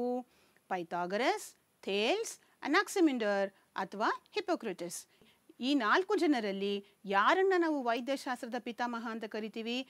ಉತ್ತರವನ್ನು ನೋಡೋಣ ಇವಾಗ? ಆಪ್ಷನ್ ಡಿ ಹಿಪೋಕ್ರಿಟಿಸ್ ಹಿಪೋಕ್ರಿಟಿಸ್ ಅನ್ನ ವೈದ್ಯಶಾಸ್ತ್ರದ ಪಿತಾಮಹ ಅಂತ ನಾವು ಕರಿತೀವಿ. ರೋಮನ್ನರ ಮತ್ತು ಕಾರ್ಥೇಜ್ ನಡುವೆ ಪ್ಯೂನಿಕ್ ಯುದ್ಧಗಳು ನಡೆಯೋದಕ್ಕೆ ಮುಖ್ಯ ಕಾರಣ ಏನು? ಪ್ರತಿಯೊಂದು ಯುದ್ಧ ನಡೆಯೋದಕ್ಕೆ ಒಂದು ಕಾರಣ ಅಂತ ಇರುತ್ತೆ. ಹಾಗಿದ್ರೆ ರೋಮನ್ನರು ಮತ್ತು ಕಾರ್ತೇಜ್ನ ಜನರು ಯಾಕೆ ಈ ಯುದ್ಧವನ್ನು ಮಾಡಿದ್ರು? ಪ್ಯೂನಿಕ್ ಯುದ್ಧಗಳನ್ನು ಏಕೆ ಮಾಡಿದ್ರು? ಈಗ ನೋಡೋಣ. ಮೊದಲು ಆಯ್ಕೆಗಳನ್ನ ನೋಡೋಣ. ಆಪ್ಷನ್ ಎ, ಸಿಸಿಲಿ ಎಂಬ ಪ್ರದೇಶದ ಮೇಲೆ ಹಿಡಿತ ಸಾಧಿಸಲು. ಎರಡನೇ ಆಪ್ಷನ್ ನೋಡಿ, ರೋಮನ್ನನ್ನು ಸ್ವತಂತ್ರಗೊಳಿಸಲು.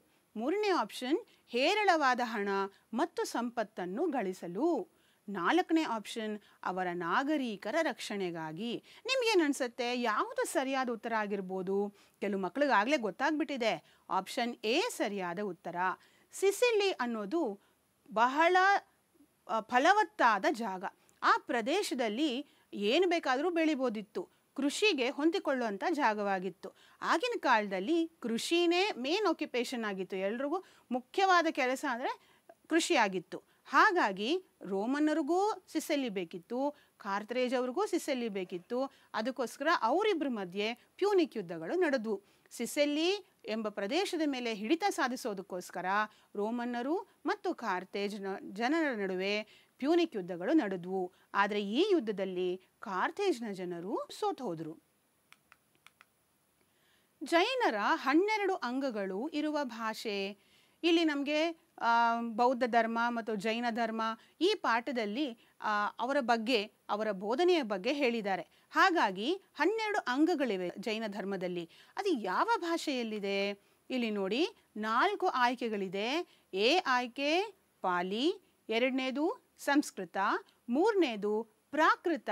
ನಾಲ್ಕನೇದು ಹಿಂದಿ. ಈ ನಾಲ್ಕೂ ಸಹ ಭಾಷೆಗಳೇನೆ. ಆದರೆ ಜೈನರ ಹನ್ನೆರಡು ಅಂಗಗಳು ಯಾವ ಭಾಷೆಯಲ್ಲಿದೆ? ಆಪ್ಷನ್ ಸಿ ಪ್ರಾಕೃತ ಸರಿಯಾದ ಉತ್ತರ. ಪ್ರಾಕೃತ ಭಾಷೆಯಲ್ಲಿ ಜೈನರ ಅಂಗಗಳನ್ನು ನೋಡ್ಬೋದು. ಹನ್ನೆರಡು ಅಂಗಗಳನ್ನು ನಾವು ಕಾಣ್ಬೋದು. ಬೌದ್ಧ ಧರ್ಮದಲ್ಲಿ ಕೆಲವು ತತ್ವಗಳು ಬೋಧನೆಗಳನ್ನ ನೋಡ್ಬೋದು. ಹಾಗೆ ಜೈನ ಧರ್ಮದಲ್ಲಿ ವರ್ಧಮಾನ ಮಹಾವೀರನು ಸಹ ಐದು ತತ್ವಗಳನ್ನು ಕೊಟ್ಟಿದ್ದಾನೆ. ಆಸ್ತೇಯ ಅಪರಿಗ್ರಹ, ಸತ್ಯ ಮತ್ತು ಬ್ರಹ್ಮಚರ್ಯ. ಹೀಗೆ ಅವನ, ಅವನು ಕೊಟ್ಟಿರುವಂಥ ತತ್ವಗಳನ್ನು ಸಹ ನಾವು ನೋಡ್ಬೋದು. ಜೈನರ ಹನ್ನೆರಡು ಅಂಗಗಳು ಪ್ರಾಕೃತ ಭಾಷೆಯಲ್ಲಿ ಇದೆ. ಕೆಳಗಿನವುಗಳನ್ನು ಸರಿಯಾದ ಪರ್ಯಾಯಗಳೊಂದಿಗೆ ಹೊಂದಿಸಿ ಮತ್ತು ಸೂಕ್ತ ಉತ್ತರವನ್ನು ಆಯ್ಕೆ ಮಾಡಿ. ನಾನು ಮೊದಲೇ ಹೇಳಿದೆ ನಿಮಗೆ, ಹೊಂದಿಸಿ ಬರೆಯಿರಿ, ನಾನು ನಿಮಗೆ ಹೇಳ್ಕೊಡ್ತೀನಿ. ಹೇಗೆ ಮಾಡೋದು ಆಯ್ಕೆಗಳನ್ನ ಹೇಗೆ ಕೊಡ್ತಾರೆ ಅಂತ ಇಲ್ಲಿ ನೋಡಿ. ಎ ಪಟ್ಟಿನಲ್ಲಿ ನಾಲ್ಕು ಪದಗಳಿವೆ, ಬಿ ಪಟ್ಟಿನಲ್ಲಿ ನಾಲ್ಕು ಪದಗಳಿವೆ. ಎ ಪಟ್ಟಿನಲ್ಲಿರೋ ನಾಲ್ಕು ಪದಗಳು ಯಾವುದು? ಹರಿಹರ ಅಹಮದ್ ಶಾ, ಗಜಪತಿ ಮತ್ತು ಕೃಷ್ಣದೇವರಾಯ. ಬಿ ಪಟ್ಟಿನಲ್ಲಿರೋದು ಯಾವುದು? ನಾಲ್ಕು. ಬಹಮನಿ ಸುಲ್ತಾನ, ತುಳುವ ವಂಶ, ಸಂಗಮ ವಂಶ ಮತ್ತು ಕಳಿಂಗ ದೊರೆ. ಹಾಗಿದ್ರೆ ಏನು ಆಯ್ಕೆಗಳನ್ನ ಹೇಗೆ ಕೊಟ್ಟಿದ್ದಾರೆ ನೋಡೋಣವಾ? ನೋಡಿ ಇಲ್ಲಿ ಹೇಗೆ ಕೊಟ್ಟಿದ್ದಾರೆ ಆಯ್ಕೆಯನ್ನ. ಎ ಆಯ್ಕೆಯಲ್ಲಿ ಹೇಗೆ ಕೊಟ್ಟಿದ್ದಾರೆ? ಬಿ ಆಯ್ಕೆಯಲ್ಲಿ ಹೇಗೆ ಕೊಟ್ಟಿದ್ದಾರೆ? ಮೊದಲನೆಯ ಮತ್ತು ಎರಡನೆಯ ಪಟ್ಟಿಯನ್ನು ಹೊಂದಿಸಿ ಕೊಟ್ಟಿದ್ದಾರೆ.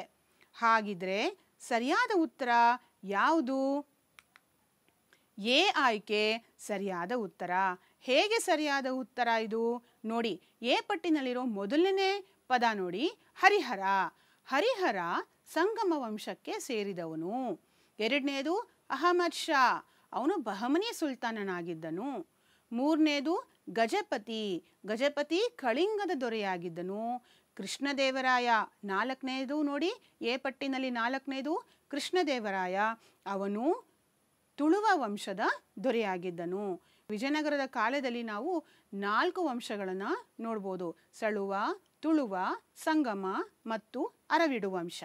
ಹೀಗೆ ಆ ವಂಶಗಳನ್ನು ಸಹ ನೀವು ಜ್ಞಾಪಕ ಇಟ್ಕೋಬೇಕು. ಯಾವ ವಂಶದಲ್ಲಿ ಯಾವ ರಾಜನಿದ್ದ, ಅವನು ಅವನ ಕೊಡುಗೆ ಏನು, ಅವನು ಏನಾದರೂ ಪುಸ್ತಕಗಳನ್ನ ಬರೆದಿದ್ರೆ ಅಥವಾ ಜನರಿಗೆ ಸಹಾಯ ಮಾಡಿದರೆ ಅದು ಏನು ಮಾಡಿದ್ದ ಅನ್ನೋದನ್ನು ನಾವು ಒಂದು ಪಟ್ಟಿಯನ್ನು ಮಾಡಿಟ್ಕೋಬೇಕು. ಹಾಗಾಗಿ ಹೊಂದಿಸಿ ಬರೆಯಿರಿ, ಈ ರೀತಿಯಾಗಿ ಪ್ರಶ್ನೆಗಳನ್ನ ನಾವು ನೋಡ್ಬೋದು. ರಾಜವೀರ ಮದಕರಿ ನಾಯಕ, ಈ ನಾಯಕರಲ್ಲಿ ಅತ್ಯಂತ ಪ್ರಬಲ ಮತ್ತು ಪ್ರಸಿದ್ಧನಾದವನು ಯಾವ ಯಾವ ಜಾಗಗಳನ್ನ ಕೊಟ್ಟಿದ್ದಾರೆ ಇಲ್ಲಿ? ಚಿತ್ರದುರ್ಗ ಕೆಳದಿ, ಸುರಪುರ, ಯಲಹಂಕ, ಇದೆಷ್ಟು ಈಸಿ ಆಗಿದೆ ಅಲ್ವಾ? ಈ ಪ್ರಶ್ನೆ ನೋಡಿ ಮದಕರಿ ನಾಯಕ ಅಂದಿದ ಕೂಡಲೇ ನಮಗೆ ಜ್ಞಾಪಕಕ್ಕೆ ಬರೋದೇ ಚಿತ್ರದುರ್ಗ.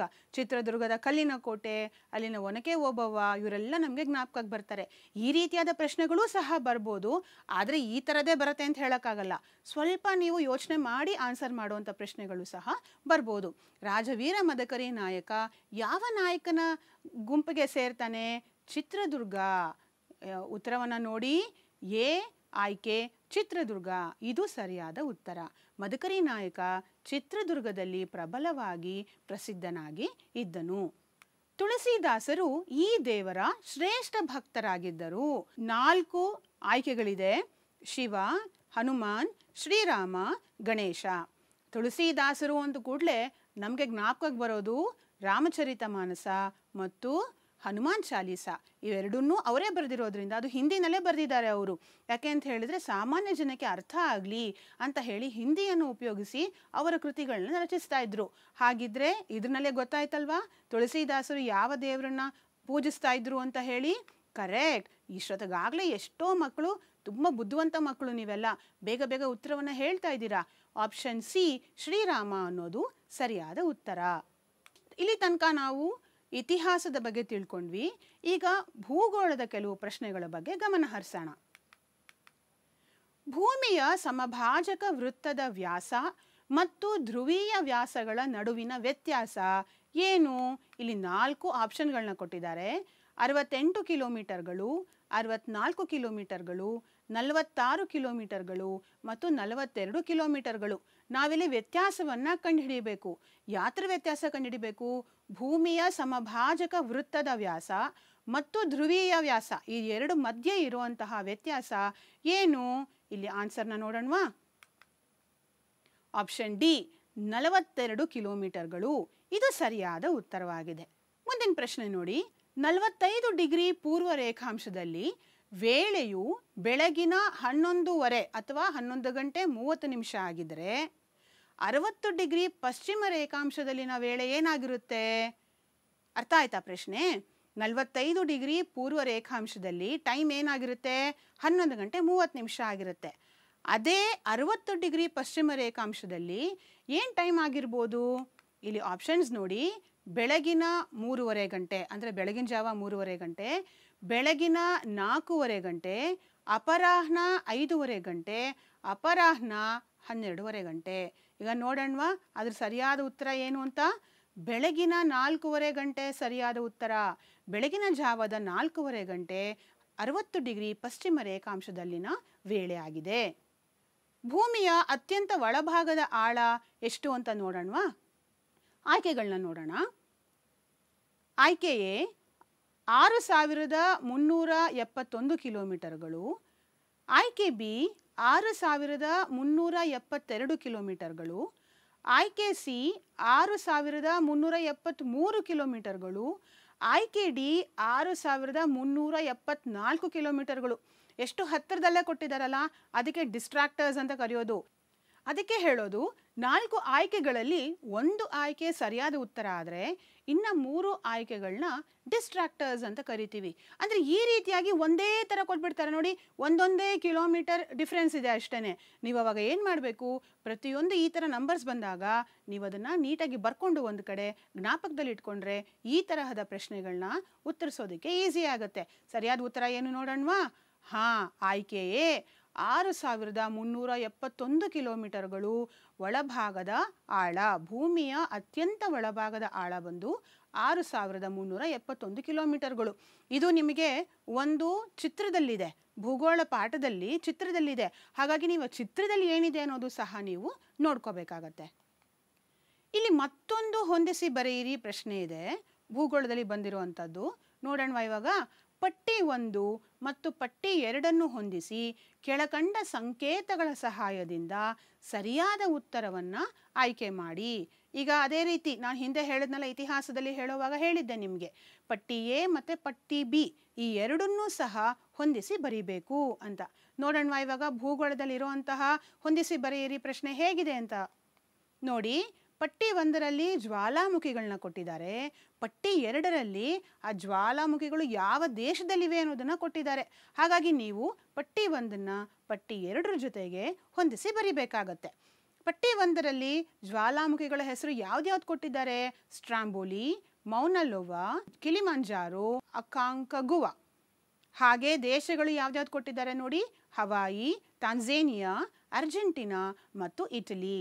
ಹಾಗಿದ್ರೆ ಆಯ್ಕೆಗಳು ಹೇಗಿರುತ್ತೆ? ನಿಮ್ಗೆ ಆಗಲೇ ನೋಡ್ಕೊಂಡಿದ್ದೀರಿ ಆಯ್ಕೆಗಳು ಹೇಗಿರುತ್ತೆ ಅಂತ. ಹಾಗಾಗಿ ಇದು ನಿಮಗೆ ತುಂಬಾ ಸುಲಭ ಆಗುತ್ತೆ. ಈಗ ನೋಡೋಣ. ಈ ಆಯ್ಕೆಗಳಿಗೆ ಸರಿಯಾಗಿ ಉತ್ತರ ಯಾವುದಿದೆ ಅಂತ. ಆ, ಬಿ ಆಯ್ಕೆ ಸರಿಯಾದ ಉತ್ತರ. ಅಂದರೆ ಸ್ಟ್ರಾಂಬೋಲಿ ಅನ್ನೋದು ಇಟಲಿನಲ್ಲಿದೆ. ಮೌನಲೋವಾ ಅನ್ನೋದು ಹವಾಯಿನಲ್ಲಿ ಸಿಗುತ್ತೆ. ಅಲ್ಲಿ ನಾವು ಇದನ್ನು ನೋಡ್ಬೋದು. ಕಿಲಿಮಂಜಾರೋ ಅನ್ನೋದು ತಾನ್ಝೇನಿಯಾದಲ್ಲಿ ಮತ್ತು ಅಕಾಂಕ ಗುವಾ ಅನ್ನೋದು ಅರ್ಜೆಂಟಿನಾದಲ್ಲಿ. ಈ ನಾಲ್ಕು ಜ್ವಾಲಾಮುಖಿಗಳನ್ನು ಈ ದೇಶದಲ್ಲಿ ನಾವು ನೋಡಬಹುದು. ಈ ರೀತಿಯಾಗಿ ಸಹ ಪ್ರಶ್ನೆಗಳು ನಿಮಗೆ ಬರುತ್ತೆ. ಅತಿ ಹಾನಿಕಾರಕ ಭೂಕಂಪನ ಅಲೆಗಳು. ಯಾವ ಅಲೆಗಳು ಇದು ಪಿ ಅಲೆಗಳು, ಎಲ್ ಅಲೆಗಳು, ಎಸ್ ಅಲೆಗಳು ಮತ್ತು ಡಿ ಅಲೆಗಳು. ಇದರಲ್ಲಿ ಹಾನಿಕಾರಕ ಭೂಕಂಪನ ಅಲೆಗಳು ಯಾವುದು? ಎಲ್ ಅಲೆಗಳು ಅಂದರೆ ಬಿ ಆಪ್ಷನ್ ಸರಿಯಾದ ಉತ್ತರವಾಗಿದೆ. ಇಲ್ಲೂ ಸಹ ನೀವು ಭೂಕಂಪದ ಬಗ್ಗೆ ಇರೋ ಪಾಠದಲ್ಲಿ ಎಲ್ಲ ರೀತಿಯ ಪ್ರಶ್ನೆಗಳನ್ನು ನೀವು ಉತ್ತರಿಸಬೇಕಾಗತ್ತೆ. ಪ್ರತಿಯೊಂದನ್ನು ನೀವು ನೋಟ್ ಮಾಡ್ಕೊಳ್ಳಿ. ಈ ಥರದ ಪ್ರಶ್ನೆ ಬಂದಾಗ ನೀವು ಉತ್ತರಿಸ್ಬೋದು. ಈಗ ಮತ್ತೊಂದು ಹೊಂದಿಸಿ ಬರೆಯಿರಿ ಇದೆ ನೋಡಿ. ಪಟ್ಟಿ ಒಂದು ಮತ್ತು ಪಟ್ಟಿ ಎರಡನ್ನು ಹೊಂದಿಸಿ ಕೆಳಕಂಡ ಸಂಕೇತಗಳ ಸಹಾಯದಿಂದ ಸರಿಯಾದ ಉತ್ತರವನ್ನು ಆಯ್ಕೆ ಮಾಡಿ. ಇಲ್ಲಿ ಏನು ಕೊಟ್ಟಿದ್ದಾರೆ? ಪಟ್ಟಿ ಒಂದರಲ್ಲಿ ಆಪ್ಷನ್ ಎ ಇಲ್ಲಿ ನಾಲ್ಕು ಪದಗಳನ್ನ ಕೊಟ್ಟಿದ್ದಾರೆ. ಮಹಾಕಂದರ, ಸ್ವಾಭಾವಿಕ ದಡಕಟ್ಟೆ, ತೂಗು ಕಣಿವೆ, ಲೂಯಿಸ್ ಮೈದಾನ. ಪಟ್ಟಿ ಎರಡರಲ್ಲಿ ನದಿಯ ಸಂಚಯನ ಕಾರ್ಯ, ಹಿಮ ನದಿಯ ಸವೆತ ಕಾರ್ಯ, ಮಾರುತದ ಸಂಚಯನ ಕಾರ್ಯ, ನದಿಯ ಸವೆತ ಕಾರ್ಯ. ಹೀಗೆ ಪಟ್ಟಿ ಒಂದರಲ್ಲಿ ನಾಲ್ಕು ಪದಗಳಿದ್ರೆ ಪಟ್ಟಿ ಎರಡರಲ್ಲಿ ನಾಲ್ಕು ಪದಗಳಿವೆ. ಇವಾಗ ಇದೆರಡನ್ನ ನಾವು ಹೊಂದಿಸಿ ಬರೀಬೇಕು. ಹಾಗಿದ್ರೆ ಆಯ್ಕೆಗಳು ಏನು ಕೊಟ್ಟಿದ್ದಾರೆ? ಈಗ ಗೊತ್ತಾಯ್ತಲ್ವಾ? ಆಯ್ಕೆಗಳು ಏನು ಕೊಟ್ಟಿದ್ದಾರೆ ಅಂತ ಉತ್ತರವನ್ನು ನೋಡೋಣ. ಮಹಾಕಂದರ ನದಿಯ ಸವೆತ ಕಾರ್ಯ ಆದರೆ ಸ್ವಾಭಾವಿಕ ದಡಕಟ್ಟೆ ನದಿಯ ಸಂಚಯನ ಕಾರ್ಯ ಆಗುತ್ತೆ. ತೂಗು ಕಣಿವೆ ಹಿಮ ನದಿಯ ಸವೆತ ಕಾರ್ಯ ಆದರೆ ಲೂಯಿಸ್ ಮೈದಾನ ಮಾರುತದ ಸಂಚಯನ ಕಾರ್ಯ ಆಗುತ್ತೆ. ಇದು ನಿಮಗೆ ಪಾಠದಲ್ಲಿ ಕೊಟ್ಟಿರುವಂಥದ್ದೇನೆ ಇದನ್ನೆಲ್ಲ ನೀವು ಸ್ವಲ್ಪ ಜ್ಞಾಪಕದಲ್ಲಿ ಇಟ್ಕೋಬೇಕಾಗುತ್ತೆ. ಮುಂದಿನ ಪ್ರಶ್ನೆ ನೋಡಿ. ವಿಶ್ವದ ಅತಿ ಚಿಕ್ಕದಾದ ಮತ್ತು ಆಳವಿಲ್ಲದ ಮಹಾಸಾಗರ ಯಾವುದು? ನಿಮಗೆಲ್ಲ ಗೊತ್ತಿದೆ, ವಿಶ್ವದಲ್ಲಿ ಸಪ್ತ ಸಾಗರಗಳಿವೆ. ಈ ಸಪ್ತ ಸಾಗರಗಳಲ್ಲಿ ಚಿಕ್ಕದು ಮತ್ತು ಆಳ ಇಲ್ದಿರೋ ಸಾಗರ ಯಾವುದು? ಆಪ್ಷನ್ಸ್ನ ನೋಡೋಣವಾ ಈಗ. ಆಯ್ಕೆಗಳು ನೋಡಿ. ಆಪ್ಷನ್ ಎ ಅಟ್ಲಾಂಟಿಕ್ ಸಾಗರ ಆಪ್ಷನ್ ಬಿ ಹಿಂದೂ ಮಹಾಸಾಗರ ಆಪ್ಷನ್ ಸಿ ಆರ್ಕ್ಟಿಕ್ ಸಾಗರ ಆಪ್ಷನ್ ಡಿ ಅಂಟಾರ್ಟಿಕ್ ಸಾಗರ ಈ ನಾಲ್ಕರಲ್ಲಿ ಯಾವುದು ಸರಿಯಾದ ಉತ್ತರ? ಕರೆಕ್ಟ್ ಆಪ್ಷನ್ ಸಿ ಆರ್ಕ್ಟಿಕ್ ಸಾಗರ ಸರಿಯಾದ ಉತ್ತರವಾಗಿದೆ. ಹಾಗಿದ್ರೆ ಜಗತ್ತಿನಲ್ಲಿ ಅತಿ ದೊಡ್ಡದಾದ ಮಹಾಸಾಗರ ಯಾವುದು? ಯೋಚನೆ ಮಾಡಿ ನೋಡೋಣ. ಯಾವುದಾಗಿರ್ಬೋದು ದೊಡ್ಡದಾದ ಮಹಾಸಾಗರ? Pacific Mahasagara Pacific ocean is the largest ocean in the world ವಿಶ್ವದ ಅತಿ ದೊಡ್ಡದಾದ ಸಾಗರ ಪೆಸಿಫಿಕ್ ಸಾಗರ ಎರಡನೆಯ ದೊಡ್ಡದಾದ ಸಾಗರ ಸೆಕೆಂಡ್ ಲಾರ್ಜೆಸ್ಟ್ ಓಷನ್ ಅಟ್ಲಾಂಟಿಕ್ ಸಾಗರ ಥರ್ಡ್ ಲಾರ್ಜೆಸ್ಟ್ ಓಷನ್ ಅಥವಾ ಮೂರನೆಯ ದೊಡ್ಡ ಸಾಗರ, ಹಿಂದೂ ಮಹಾಸಾಗರ ಅಥವಾ ಇಂಡಿಯನ್ ಓಷನ್ ಹೀಗೆ ನೀವು ಇವತ್ತಿಗೆ ಮಾತ್ರ ಅಲ್ಲ, ನಾವು ಬರೀ ಎಕ್ಸಾಮ್ ಬರೀಬೇಕು ಅಂತ ಮಾತ್ರ ಅಲ್ಲ, ಇದು ನಿಮಗೆ ಜನರಲ್ ನಾಲೆಜ್ ಕೂಡ ಆಗುತ್ತೆ. ಸ್ವಲ್ಪ ಜ್ಞಾನವನ್ನು ನಾವು ವೃದ್ಧಿಸ್ಕೋಬೇಕಾದ್ರೆ ಈ ರೀತಿಯಾದ ಜ್ಞಾನವನ್ನು ನಾವು ತಗೋಬೇಕಾಗತ್ತೆ. ಯಾವ್ದಾದ್ರು ಪಾಠದಲ್ಲಿ ಈ ಥರದ್ದೆಲ್ಲ ಕೊಟ್ಟಾಗ ಇದನ್ನೆಲ್ಲ ನೀವು ತಿಳ್ಕೊಳ್ಳಿ. ಜ್ವಾಲಾಮುಖಿಯಿಂದ ಉಂಟಾಗುವ ವಿಶಾಲವಾದ, ಕಡಿದಾದ ಬದಿಗಳುಳ್ಳ ತಗ್ಗು ಸ್ವರೂಪವನ್ನು ಏನಂತ ಕರೀತಾರೆ? ಇಲ್ಲಿ ನಾಲ್ಕು ಆಪ್ಷನ್ ಕೊಟ್ಟಿದ್ದಾರೆ ನೋಡಿ. ಕುಂಡ, ದ್ವಾರ, ಕಾಲ್ಡೆರ ಮತ್ತು ಶಂಕು. ಹೀಗೆ ನಾಲ್ಕರಲ್ಲಿ ಸರಿಯಾದ ಉತ್ತರ ಯಾವುದು? ಆ, ಇಷ್ಟೊತ್ತಿಗಾಗಲೇ ಮಕ್ಕಳು ಹೇಳ್ಬಿಟ್ಟಿರ್ತಾರೆ. ಆಪ್ಷನ್ ಸಿ ಕಾಲ್ಡೆರ ಸರಿಯಾದ ಉತ್ತರವಾಗಿದೆ. ಭೂಮಿಯ ಒಳಕೇಂದ್ರ ಗೋಳವು ಈ ರೂಪದಲ್ಲಿದೆ. ಯಾವ ರೂಪದಲ್ಲಿದೆ? ಇಲ್ಲಿ ನಾಲ್ಕು ಆಪ್ಷನ್ಸ್ ಅಲ್ಲಿ ಏನೇನು ಕೊಟ್ಟಿದ್ದಾರೆ? ಆಪ್ಷನ್ ಎ ಘನರೂಪ ಆಪ್ಷನ್ ಬಿ ದ್ರವರೂಪ ಆಪ್ಷನ್ ಸಿ ಅರೆ ದ್ರವರೂಪ ಸೆಮಿ ಲಿಕ್ವಿಡ್ ಅಂತ ಹೇಳ್ತೀವಿ. ಆಪ್ಷನ್ ಡಿ ಅನಿಲ ರೂಪ ಹಾಗಿದ್ರೆ ಸರಿಯಾದ ಉತ್ತರ ಯಾವುದು? ಆಪ್ಷನ್ ಎ ಘನರೂಪ ಸರಿಯಾದ ಉತ್ತರ. ಭೂಮಿಯ ಒಳಕೇಂದ್ರ ಘನರೂಪದಲ್ಲಿ ನಾವು ನೋಡ್ಬೋದು. ಒಂದು ಚಿತ್ರ ಕೊಟ್ಟಿದ್ದಾರೆ. ನಾನು ನಿಮ್ಗೆ ಹೇಳಿದೆ ಚಿತ್ರಗಳನ್ನ ಕೊಡ್ತಾರೆ, ಅದನ್ನು ಗುರುತಿಸ್ಬೇಕಾಗತ್ತೆ ನೀವು ಅಂತ ಹೇಳಿ. ಈಗ ನೋಡೋಣವಾ, ಏನು ಚಿತ್ರ ಕೊಟ್ಟಿದ್ದಾರೆ ಅಂತ? ಹಾ, ಇದೇನೋ ಒಂದು ಚಿತ್ರ ಕೊಟ್ಟಿದ್ದಾರಲ್ಲ. ಇದನ್ನು ಏನು ನಿರೂಪಿಸುತ್ತೆ? ಇಲ್ಲಿ ನಾಲ್ಕು ಆಪ್ಷನ್ಸ್ನ ನೋಡಿ. ದಕ್ಷಿಣಾರ್ಧ ಗೋಳದ ಆವರ್ತ ಮಾರುತಗಳು, ಉತ್ತರಾರ್ಧ ಗೋಳದ ಪ್ರತ್ಯಾವರ್ತ ಮಾರುತಗಳು, ದಕ್ಷಿಣಾರ್ಧ ಗೋಳದ ಪ್ರತ್ಯಾವರ್ತ ಮಾರುತಗಳು ಉತ್ತರಾರ್ಧ ಗೋಳದ ಆವರ್ತ ಮಾರುತಗಳು. ಕನ್ಫ್ಯೂಸ್ ಆಗತ್ತಲ್ವಾ? ದಕ್ಷಿಣಾರ್ಧ, ಉತ್ತರಾರ್ಧ, ಆವರ್ತ, ಪ್ರತ್ಯಾವರ್ತ, ನೀವು ಆ ಚಿತ್ರಗಳನ್ನ ನೋಡಿಕೊಂಡು ಇದು ಯಾವ ಥರದ ಮಾರುತವನ್ನು ನಿರೂಪಿಸುತ್ತೆ ಅನ್ನೋದನ್ನ ನೀವು ತಿಳ್ಕೊಬೇಕಾಗತ್ತೆ.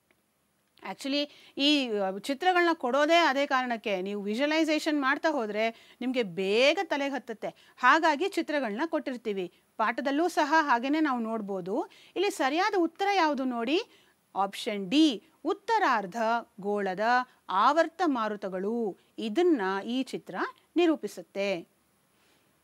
ಇಲ್ಲಿ ತನಕ ಭೂಗೋಳದ ಬಗ್ಗೆ ತಿಳ್ಕೊಂಡ್ವಿ. ಕೆಲವು ಮಕ್ಕಳಿಗೆ ಭೂಗೋಳದ ಬಗ್ಗೆ ತುಂಬಾ ಆಸಕ್ತಿ ಇರುತ್ತೆ. ಎಲ್ಲ ವಿಷಯವನ್ನು ತಿಳ್ಕೊತೀರಾ?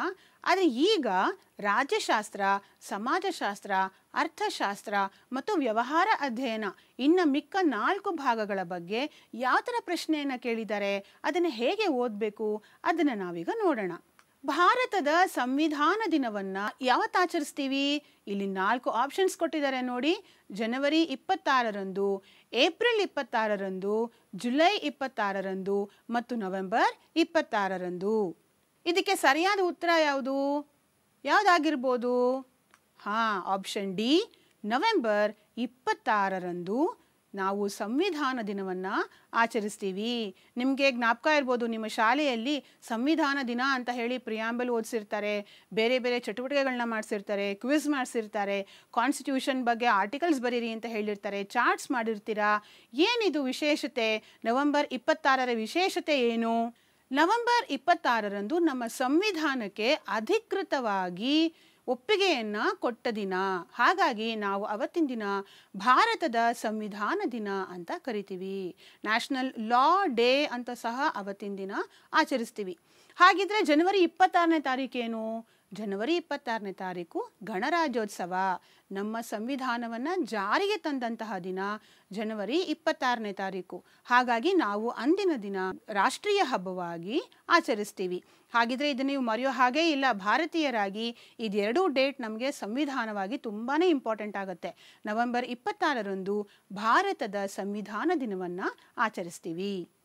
ಮುಂದಿನ ಪ್ರಶ್ನೆ, ಸಾರ್ವಜನಿಕ ಆಡಳಿತ ಎಂಬ ಪದವನ್ನು ಅಲೆಕ್ಸಾಂಡರ್ ಹ್ಯಾಮಿಲ್ಟನ್ ಮೊಟ್ಟ ಮೊದಲ ಬಾರಿಗೆ ಬಳಸಿದ ವರ್ಷ, ನಾನು ನಿಮ್ಗೆ ಹೇಳಿದೆ ಕಾಲಾನುಕ್ರಮದಲ್ಲಿ ಜೋಡಿಸಿ, ಇಸವಿಗಳು ಇದೆಲ್ಲ ಬಂದಾಗ ನೀವು ಎಲ್ಲ ವರ್ಷಗಳನ್ನ ಒಂದು ಕಡೆ ಬರೆದಿಟ್ಕೊಳ್ಬೇಕು. ಆಮೇಲಿಂದ ಹೇಳ್ತೀನಿ ನಿಮಗೆ ಈ ವರ್ಷಗಳನ್ನ ಹೇಗೆ ಜ್ಞಾಪಕ ಇಟ್ಕೋಬೇಕು ಅಂತ. ಇಲ್ಲಿ ನೋಡಿ ಆಯ್ಕೆಗಳು. ನಾನು ಅವಾಗಲೇ ಹೇಳಿದಾಗೆ ಡಿಫ್ರೆನ್ಸ್ ನಿಮಗೆ ತುಂಬ ಕಡಿಮೆ ಇದೆ. ಹದಿನೆಂಟುನೂರ ಹನ್ನೊಂದು, ಹದಿನೆಂಟುನೂರ ಹನ್ನೆರಡು, ಹದಿನೆಂಟುನೂರ ಹದಿಮೂರು, ಹದಿನೆಂಟುನೂರ ಹದಿನಾಲ್ಕು. ನಿಮಗೆ ಕನ್ಫ್ಯೂಸ್ ಆಗೋದಕ್ಕೆ ಇದೇ ಸಾಕು. ಆದರೆ ನೀವೆಲ್ಲ ತುಂಬ ಬುದ್ಧಿವಂತರು. ಬೇಗ ಕರೆಕ್ಟಾಗಿ ಉತ್ತರವನ್ನು ಕೊಡ್ತೀರಾ? ಸರಿಯಾದ ಉತ್ತರ ಆಪ್ಷನ್ ಬಿ ಹದಿನೆಂಟುನೂರ ಹನ್ನೆರಡು. ಸಾರ್ವಜನಿಕ ಆಡಳಿತ ಅನ್ನೋ ಪದವನ್ನು ಮೊದಲನೇ ಬಾರಿಗೆ ಹದಿನೆಂಟುನೂರ ಹನ್ನೆರಡರಲ್ಲಿ ಅಲೆಕ್ಸಾಂಡರ್ ಹ್ಯಾಮಿಲ್ಟನ್ ಬಳಸಿರ್ತಾನೆ. ಮತ್ತೊಂದು ಪ್ರಶ್ನೆ ಸಾರ್ವಜನಿಕ ಆಡಳಿತದ ಬಗ್ಗೆನೇ ಇದೆ. ಸಾರ್ವಜನಿಕ ಆಡಳಿತವು ಸರ್ಕಾರ ಕಾರ್ಯಗಳನ್ನು ನಿರ್ವಹಿಸುವ ಕಾರ್ಯಾಂಗ ಶಾಖೆಗೆ ಸಂಬಂಧಿಸಿದೆ. ಅಂತ ಯಾರು ಹೇಳಿದ್ರು? ಹಾಗಂತ ಯಾರು ಪ್ರತಿಪಾದಿಸಿದ್ರು? ಇಲ್ಲಿ ಮತ್ತೆ ನಮಗೆ ನಾಲ್ಕು ಆಪ್ಷನ್ ಇದೆ ನೋಡಿ. ಆಪ್ಷನ್ ಎ ಲೂದರ್ ಗುಲಿಕ್ ಮತ್ತು ಸೈಮನ್, ವುಡ್ರೋ ವಿಲ್ಸನ್ ಮತ್ತು L D White. Option C Pfiffner. Option D Paul Appleby. ಹಾಗಿದ್ರೆ ಈ ನಾಲ್ಕರಲ್ಲಿ ಸರಿಯಾದ ಉತ್ತರ ಯಾವುದು? ಯಾರು ಹೀಗೆ ಪ್ರತಿಪಾದಿಸಿದವರು? ನೋಡೋಣವಾ. ಆಪ್ಷನ್ ಎ ಲೂದರ್ ಗುಲಿಕ್ ಮತ್ತು ಸೈಮನ್. ಇವರಿಬ್ಬರು ಈ ಒಂದು ಪ್ರತಿಪಾದನೆಯನ್ನು ಕೊಟ್ಟರು ಸಾರ್ವಜನಿಕ ಆಡಳಿತದ ಬಗ್ಗೆ ಈ ಪ್ರತಿಪಾದನೆಯನ್ನು ಕೊಟ್ಟಿದ್ದಾರೆ. ಸಮಾಜಶಾಸ್ತ್ರದ ಬೆಳವಣಿಗೆಯ ಪಿತಾಮಹ. ಅಂತ ಯಾರನ್ನ ಕರಿತೀವಿ? ಸಮಾಜಶಾಸ್ತ್ರಜ್ಞ ಒಬ್ಬರಿದ್ದಾರೆ ಅವರನ್ನ ಸಮಾಜಶಾಸ್ತ್ರದ ಬೆಳವಣಿಗೆಯ ಪಿತಾಮಹ ಅಂತ ಕರಿತೀವಿ. ನಾನು ಆವಾಗಲೇ ಹೇಳಿದೆ ನಿಮಗೆ, ಬೇರೆ ಬೇರೆ ರೀತಿಯ ಪಿತಾಮಹ ಅಂತ ಬರುತ್ತೆ. ಅದೆಲ್ಲ ನೀವು ಹೆಸರುಗಳನ್ನ ಜ್ಞಾಪಕ ಇಟ್ಕೋಬೇಕು ಅಂತ. ಈಗ ನೋಡಿ options option A Max Weber ಆಯ್ಕೆ ಬಿ ಎಮಿಲಿ ಡರ್ಕಿಮ್ ಆಯ್ಕೆ ಸಿ ಆಗಸ್ಟ್ ಕಾಮ್ಟೆ ಆಯ್ಕೆ ಡಿ ಕಾರ್ಲ್ ಮಾರ್ಕ್ಸ್ ಹಾಗಿದ್ರೆ ಸರಿಯಾದ ಉತ್ತರ ಯಾವುದು? ಆಪ್ಷನ್ ಬಿ ಎಮಿಲಿ ಡರ್ಕಿಮ್ನ ಸಮಾಜಶಾಸ್ತ್ರದ ಬೆಳವಣಿಗೆಯ ಪಿತಾಮಹ ಅಂತ ನಾವು ಕರಿತೀವಿ. ಈಗ ನೋಡಿ, ಮುಂದಿನ ಪ್ರಶ್ನೆ, ಬುದ್ಧ ಮತ್ತು ಅವನ ದಮ್ಮ ಎಂಬ ಪುಸ್ತಕವನ್ನು ಯಾರು ಬರೆದ್ರು? ಹಾ, ಇಲ್ಲಿ ನಾಲ್ಕು ಆಯ್ಕೆಗಳು ಬಂದಿದೆ ನೋಡಿ. ಎಂ ಎನ್ ಶ್ರೀನಿವಾಸ್, ಇದು ಆಯ್ಕೆ ಎ ಆಯ್ಕೆ ಬಿ, ಸಿ ಪಾರ್ವತಮ್ಮ. ಆಯ್ಕೆ ಸಿ, ಎ ಆರ್ ದೇಸಾಯಿ. ಆಯ್ಕೆ D, doctor B R Ambedkar. ನೀವು ಈ ಪಾಠದಲ್ಲಿ ಇವರೆಲ್ಲ ಬರೆದಿರುವಂಥ ಪುಸ್ತಕಗಳಿದೆ, ಅದರ ಹೆಸರನ್ನ ನೀವು ಬರೆದಿಟ್ಕೊಳ್ಬೇಕಾಗತ್ತೆ. ಈಗ ಇದ್ರ ಸರಿಯಾದ ಉತ್ತರ ಯಾವುದು ಅಂತ ನೋಡೋಣವಾ? ಯಾರು ಈ ಪುಸ್ತಕವನ್ನು ಬರೆದಿದ್ದಾರೆ ಅಂತ? ಡಾಕ್ಟರ್ ಬಿ ಆರ್ ಅಂಬೇಡ್ಕರ್ ಅವರು ಬರೆದಿದ್ದಾರೆ, ಬುದ್ಧ ಮತ್ತು ಅವನ ದಮ್ಮ ಅನ್ನೋದು. ಡಾಕ್ಟರ್ ಬಿ ಆರ್ ಅಂಬೇಡ್ಕರ್ ಅವರಿಗೆ ಬುದ್ಧಿಸಮ್ ಅಥವಾ ಬೌದ್ಧ ಧರ್ಮ ಅಂತ ಹೇಳಿದ್ರೆ ತುಂಬಾ ಇಷ್ಟ ಆಗೋಯ್ತಂತೆ. ಹಾಗಾಗಿ ಅವರ ಕೊನೆಯ ದಿನಗಳಲ್ಲಿ ಬೌದ್ಧ ಧರ್ಮಕ್ಕೆ ಪರಿವರ್ತನೆಗೊಳ್ತಾರೆ. ಅಂದರೆ ನೀವು ಅರ್ಥ ಮಾಡ್ಕೋಬಹುದು ಎಷ್ಟು ಇನ್ಸ್ಪಿರೇಷನ್ ಆಗಿರ್ಬೋದು ಅವ್ರಿಗೆ, ಎಷ್ಟು ಇನ್ಫ್ಲೂಯೆನ್ಸ್ ಆಗಿರ್ಬೋದು ಬುದ್ಧನ ತತ್ವಗಳು, ಅವನ ಬೋಧನೆಗಳು, ಅದನ್ನು ನೀವು ತಿಳ್ಕೊಬೇಕಾಗತ್ತೆ. ನಿಮ್ಗೆ ಏನಾದರೂ ಇಂಟ್ರೆಸ್ಟ್ ಇದ್ದು, ಆಸಕ್ತಿ ಇದ್ದು ಬುದ್ಧನ ಬಗ್ಗೆ ತಿಳ್ಕೊಬೇಕು. ಡಾಕ್ಟರ್ ಬಿ ಆರ್ ಅಂಬೇಡ್ಕರ್ ಅವರ ಕಣ್ಣಿನಲ್ಲಿ ಬುದ್ಧ ಅಂದರೆ ಯಾರು, ಅವನ ಧರ್ಮ ಅಂದರೆ ಏನು ಅನ್ನೋದಾದರೆ ಈ ಪುಸ್ತಕವನ್ನು ನೀವು ಓದ್ಬೋದು. ಹಾಗಾಗಿ ಇದಕ್ಕೆ ಸರಿಯಾದ ಉತ್ತರ doctor B R Ambedkar. Ogburn ಅವರ ಪ್ರಕಾರ ಇವುಗಳಲ್ಲಿ ಒಂದು ಭೌತಿಕ ಸಂಸ್ಕೃತಿಗೆ ಉದಾಹರಣೆಯಾಗಿದೆ. ನಿಮಗೆ ಎರಡು ಥರ ಸಂಸ್ಕೃತಿಯನ್ನು ಓದಿದ್ದೀರಿ ಭೌತಿಕ ಸಂಸ್ಕೃತಿ ಮತ್ತು ಅಭೌತಿಕ ಸಂಸ್ಕೃತಿ. ಇಲ್ಲಿ ನೋಡೋಣವಾ ಏನು ಆಯ್ಕೆಗಳನ್ನ ಕೊಟ್ಟಿದ್ದಾರೆ ಅಂತ. ಅದನ್ನು ನೋಡಿ ಸರಿಯಾದ ಉತ್ತರವನ್ನು ನಾವು ಹುಡ್ಕೋಣ. ಮನೆ, ಸಂಪ್ರದಾಯ ಧರ್ಮ ಮತ್ತು ಭಾಷೆ. ಈ ನಾಲ್ಕರಲ್ಲಿ ಭೌತಿಕ ಸಂಸ್ಕೃತಿ ಯಾವುದು? ಇಷ್ಟೊತ್ತಿಗಾಗಲೇ ಮಕ್ಕಳು ಗೊತ್ತಾಗ್ಬಿಟ್ಟಿದೆ, ಇದು ತುಂಬ ಸುಲಭವಾದ ಪ್ರಶ್ನೆ ಅಲ್ವಾ? ಆ, ಸರಿಯಾದ ಉತ್ತರ, ಎ, ಆಯ್ಕೆಯೇ ಮನೆ. ಹೇಗೆ ಇದು ಭೌತಿಕ ಸಂಸ್ಕೃತಿ ಆಗತ್ತೆ? ನಮಗೆ ಸಿಕ್ಕಿರುವಂತಹ ನೈಸರ್ಗಿಕ ಸಂಪನ್ಮೂಲಗಳಿಂದ ಏನನ್ನಾದರೂ ಕಟ್ಟಿದ್ರೆ, ಈಗ ಡ್ಯಾಮ್ ಕಟ್ತಾನೆ ಮಾನವನಾದವನು ಅವನಿಗೆ ಬೇಕಾದ ಹಾಗೆ ಕೈಗಾರಿಕೆಗಳನ್ನ ಕಟ್ತಾನೆ, ಮನೆ ಕಟ್ತಾನೆ, ಅದೆಲ್ಲ ಭೌತಿಕ ಸಂಸ್ಕೃತಿ ಆಗತ್ತೆ ಇನ್ನು ಕೆಲವು ಹೇಗೆ ಸಂಪ್ರದಾಯ, ಧರ್ಮ, ಭಾಷೆ ಇವೆಲ್ಲ ನಮಗೆ ಹಿಂದಿನ ಪೀಳಿಗೆಯವರಿಂದ ಬರುವಂಥದ್ದು. ಅದನ್ನು ನಾವು ಅಭೌತಿಕ ಸಂಸ್ಕೃತಿ, ಅದನ್ನು ಮಾನವ ಇವಾಗ ಕಟ್ಟೋದಕ್ಕೆ ಆಗೋದಿಲ್ಲ. ಅದು ಹಿಂದಿನಿಂದ ಬಂದಿರೋದ್ರಿಂದ ಅದನ್ನು ಅಭೌತಿಕ ಅಂತ ಕರಿತೀವಿ. ಭೌತಿಕ ಸಂಸ್ಕೃತಿ ಮತ್ತು ಅಭೌತಿಕ ಸಂಸ್ಕೃತಿಗೆ ಸಿಕ್ಕಿರುವಂತಹ ಉದಾಹರಣೆಗಳನ್ನ ನೋಡಿಕೊಂಡು ನೀವು ಈ ರೀತಿಯಾದ ಪ್ರಶ್ನೆಗಳಿಗೆ ಉತ್ತರ ಕೊಡ್ಬೋದು. ಇಪ್ಪತ್ತೆಂಟನೇ ಪ್ರಶ್ನೆ. ಜನರ ಸಾಮಾನ್ಯ ಜೀವನದ ವ್ಯವಹಾರವನ್ನು ಅರ್ಥಶಾಸ್ತ್ರ ಅಧ್ಯಯನ ಮಾಡುತ್ತದೆ. ಇದನ್ನು ವ್ಯಾಖ್ಯಾನಿಸಿದವರು ಯಾರು? ಇಲ್ಲಿ ನಾಲ್ಕು ಆಪ್ಷನ್ ಇದೆ ನೋಡಿ. Adam Smith, Alfred Marshall, Lionel Robbins, Paul A Samuelson. ಇವು ನಾಲ್ಕು ಜನರಲ್ಲಿ ಈ ವ್ಯಾಖ್ಯಾನವನ್ನು ಕೊಟ್ಟವ್ರು ಯಾರು? ಆಪ್ಷನ್ ಬಿ ಆಲ್ಫ್ರೆಡ್ ಮಾರ್ಷಲ್ ಇವರು ಈ ವ್ಯಾಖ್ಯಾನವನ್ನು ಕೊಟ್ಟಿದ್ದಾರೆ. ಜನರ ಸಾಮಾನ್ಯ ಜೀವನದ ವ್ಯವಹಾರವನ್ನು ಅರ್ಥಶಾಸ್ತ್ರ ಅಧ್ಯಯನ ಮಾಡುತ್ತದೆ. ಇದು ಅರ್ಥಶಾಸ್ತ್ರದ ಒಂದು ಅರ್ಥ ಸಹ ಆಗುತ್ತೆ. ಡೆಫಿನೇಷನ್ ಅಂತ ಕರಿತೀವಲ್ಲ, ವ್ಯಾಖ್ಯಾನ ಅಂತ ಹೇಳ್ತೀವಲ್ಲ, ಅದು ಆಲ್ಫ್ರೆಡ್ ಮಾರ್ಷಲ್ ಅವರು ಕೊಟ್ಟಿರುವಂಥದ್ದು. ಎಸ್ ಇ ಬಿ ಐ ಇದರ ವಿಸ್ತೃತ ರೂಪ ಏನು? ಫುಲ್ ಫಾರ್ಮ್ ಅಂತ ಹೇಳ್ತೀವಿ. S E B I SEBI ಇದರ ವಿಸ್ತೃತ ರೂಪ ಏನು? ಇಲ್ಲಿ ನಾಲ್ಕು ಆಪ್ಷನ್ ಕೊಟ್ಟಿದ್ದಾರೆ. ನಿಮ್ಗೆ ತುಂಬ ಕನ್ಫ್ಯೂಸ್ ಆಗುತ್ತೆ. ಯಾಕೆ ಅಂತ ಹೇಳಿದ್ರೆ, ಮೂರನೆಯ ಮತ್ತು ನಾಲ್ಕನೆಯ ಪದ ನೀವು ನೋಡ್ತಾ ಹೋಗಿ, ಅದು ಮಾತ್ರ ಚೇಂಜ್ ಆಗಿದೆ. ಮಿಕ್ಕಿದ್ದೆಲ್ಲ ಅದೇ ಇದೆ. ನಾನೀಗ ಆಪ್ಷನ್ಸ್ ಓದಿದ್ರೆ ನಿಮಗೆ ಗೊತ್ತಾಗುತ್ತೆ. Option A securities and exchange board of India option B securities and economics board of India option C securities and exchange bank of India option D securities and economics bank of India ನಮ್ಗೆ ಇಲ್ಲೇ ತುಂಬಾ confuse ಆಗೋದು. ಹಾಗಾಗಿ ನೀವೇನು ಮಾಡಬೇಕು? ಈ ಥರದ full forms ಏನಾದರೂ ಇದ್ದರೆ ಅದನ್ನು ಬರ್ಕೊಂಡು ಒಂದು ಚೀಟಿನಲ್ಲಿ ಅವಾಗವಾಗ ನೋಡ್ತಾ ಇದ್ದರೆ ನೀವು ಇದನ್ನು ಚೆನ್ನಾಗಿ ಜ್ಞಾಪಕದಲ್ಲಿ ಇಟ್ಕೊಳ್ಬೋದು. ನೋಡಿ, ಇದಕ್ಕೆ ಸರಿಯಾದ ಉತ್ತರ ಯಾವುದು? Option A securities and exchange board of India ಇದು ಸರಿಯಾದ ವಿಸ್ತೃತ ರೂಪ. ಸಾವಿರದ ಒಂಬೈನೂರ ತೊಂಬತ್ತೆರಡರಲ್ಲಿ ಈ ಸೆಬಿ ಅನ್ನೋದನ್ನು ಎಸ್ಟಾಬ್ಲಿಷ್ ಮಾಡ್ತಾರೆ. ಹಾಗಾಗಿ ನಾವು ಇವತ್ತಿಗೂ ಸಹ ಈ ಸೆಬಿಯನ್ನು ನಮ್ಮ ಅರ್ಥಶಾಸ್ತ್ರದಲ್ಲಿ ತುಂಬ ಇಂಪಾರ್ಟೆಂಟ್ ಅಥವಾ ಮುಖ್ಯವಾದದ್ದು ಅಂತ ಹೇಳ್ತೀವಿ. ಈಗ ಮತ್ತೆ ಇನ್ನೊಂದು ಇಸವಿದ್ ಬಂತು ನೋಡಿ. ನೀತಿ ಆಯೋಗವನ್ನು ರಚಿಸಲಾದ ವರ್ಷ. ಯಾವಾಗ ನೀತಿ ಆಯೋಗವನ್ನು ರಚಿಸಿದ್ದು? ಯಾವ ವರ್ಷ? ಹೀಗ ನೋಡೋಣ. ನಾಲ್ಕು ಆಪ್ಷನಲ್ಲಿ ನೋಡಿ ಮತ್ತೆ ಹಾಗೆ ಬಂದಿದೆ. ಎರಡು ಸಾವಿರದ ಹದಿಮೂರು, ಎರಡು ಸಾವಿರದ ಹದಿನಾಲ್ಕು, ಎರಡು ಸಾವಿರದ ಹದಿನೈದು, ಎರಡು ಸಾವಿರದ ಹದಿನಾರು. ಹಾಗಾಗಿ ನೀವು ಈ ವರ್ಷಗಳು ಇಸುವಿಗಳನ್ನ ನೀವು ಪಕ್ಕಾ ತಿಳ್ಕೊಬೇಕು. ಸುಮ್ಮನೆ ಹಾಗೆ ಏನೋ ಒಂದು ಬರೆದ್ಬಿಡೋಕ್ಕಾಗೋದಿಲ್ಲ. ಇದಕ್ಕೆ ಸರಿಯಾದ ಉತ್ತರ ಏನಂತ ನೋಡೋಣವಾ? ಆಪ್ಷನ್ ಸಿ ಎರಡು ಸಾವಿರದ ಹದಿನೈದು. ಎರಡು ಸಾವಿರದ ಹದಿನೈದರಲ್ಲಿ ನೀತಿ ಆಯೋಗವನ್ನು ರಚಿಸಲಾಯಿತು. ಮಾನವನು ತನ್ನ ಬಯಕೆಗಳನ್ನು ತೃಪ್ತಿಗೊಳಿಸಲು ಸರಕು ಮತ್ತು ಸೇವೆಗಳನ್ನು ಕೊಳ್ಳುವ ಚಟುವಟಿಕೆಯನ್ನು ಏನಂತ ಕರೀತಾರೆ? ಈಗ ನಮಗೆ ಸಾವಿರಾರು ಬೈಕ್ಗಳಿರುತ್ತೆ. ಅದನ್ನು ತೃಪ್ತಿಗೊಳಿಸ್ಕೋಬೇಕು. ಏನೋ ಸರಕು ತಗೋಬೇಕು, ಟಿ ವಿ ತಗೋಬೇಕು, ಕಾರ್ ತಗೋಬೇಕು, ಅಥವಾ ಬೇರೆ ಸೇವೆಗಳು ಬೇಕಾಗ್ಬೋದು. ಅದು ಆ ಚಟುವಟಿಕೆಯನ್ನು ಏನಂತ ಕರಿತೀವಿ? ಹಾಗಿದ್ರಲ್ಲಿ ಕೊಟ್ಟಿರೋ ಆಯ್ಕೆಗಳನ್ನ ನೋಡೋಣವಾ. ಉತ್ಪಾದನೆ, ಅನುಭೋಗ, ವಿನಿಮಯ, ವಿತರಣೆ. ಈ ನಾಲ್ಕು ಆಯ್ಕೆಗಳಲ್ಲಿ ಸರಿಯಾದ ಉತ್ತರ ಯಾವುದು? ಹಾಂ ಆಪ್ಷನ್ ಬಿ ಅನುಭೋಗ. ಹಾಗಿದ್ರೆ ಉತ್ಪಾದನೆ ಅಂದರೆ ಏನು? ಮ್ಯಾನುಫ್ಯಾಕ್ಚರ್ ಮಾಡೋದು ಪ್ರೊಡ್ಯೂಸ್ ಮಾಡೋದು. ಉತ್ಪಾದನೆ ಮತ್ತು ಪ್ರೊಡ್ ಪ್ರೊಡಕ್ಷನ್ ಎಲ್ಲಿ ಆಗುತ್ತೆ? ಕೈಗಾರಿಕೆಗಳಲ್ಲಿ ಆಗುತ್ತೆ. ನಾವೇನು ರಾ ಮೆಟೀರಿಯಲ್ಸ್ ಅಂತ ಹೇಳ್ತೀವಿ, ಅದನ್ನೆಲ್ಲ ತೊಗೊಂಡು ಬಂದು ಫಿನಿಶ್ಡ್ ಗುಡ್ಸ್ ಆಗಿ ಕನ್ವರ್ಟ್ ಮಾಡ್ತಾರೆ, ಅದನ್ನೆಲ್ಲ ನಮ್ಮ ಉಪಯೋಗಕ್ಕೆ ಕೊಡ್ತಾರೆ. ಹಾಗಾಗಿ ಅದು ಉತ್ಪಾದನೆ ಆಯಿತು. ಅನುಭೋಗ ಅಂದರೆ ಏನು? ನಾವು ಅದನ್ನು ಕೊಂಡ್ಕೊಂಡು ನಮ್ಮ ಬಯಕೆಗಳನ್ನು ತೀರಿಸ್ಕೊಳ್ಳೋದು, ನಮ್ಮ ಆಸೆಗಳನ್ನು ತೃಪ್ತಿಪಡಿಸ್ಕೊಳ್ಳೋದು. ನಮಗೇನೋ ಒಂದು ವಸ್ತು ಬೇಕಾಗತ್ತೆ, ಅಂಗಡಿಗೆ ಹೋಗಿ ಕೊಂಡ್ಕೊಂಡು ಬರ್ತೀವಿ. ಅದು ಅನುಭೋಗ. ವಿನಿಮಯ ಅಂದರೆ ಎಕ್ಸ್ಚೇಂಜ್. ಇಂಪೋರ್ಟ್, ಎಕ್ಸ್ಪೋರ್ಟ್ ಆಗ್ಬೋದು, ಅಥವಾ ಹಿಂದಿನ ಕಾಲದಲ್ಲೆಲ್ಲ ಬಾಟರ್ ಸಿಸ್ಟಮ್ ಅಂತ ಇತ್ತು. ಆ ಥರದ್ದು ಸಹ ವಿನಿಮಯ ಅಂತ ಕರಿತೀವಿ. ವಿತರಣೆ ಅಂತ ಹೇಳಿದ್ರೆ ಡಿಸ್ಟ್ರಿಬ್ಯೂಷನ್. ಆದರೆ ಇಲ್ಲಿ ಸರಿಯಾದ ಉತ್ತರ ಯಾವುದು? ಅನುಭೋಗ ಸರಿಯಾದ ಉತ್ತರವಾಗಿದೆ.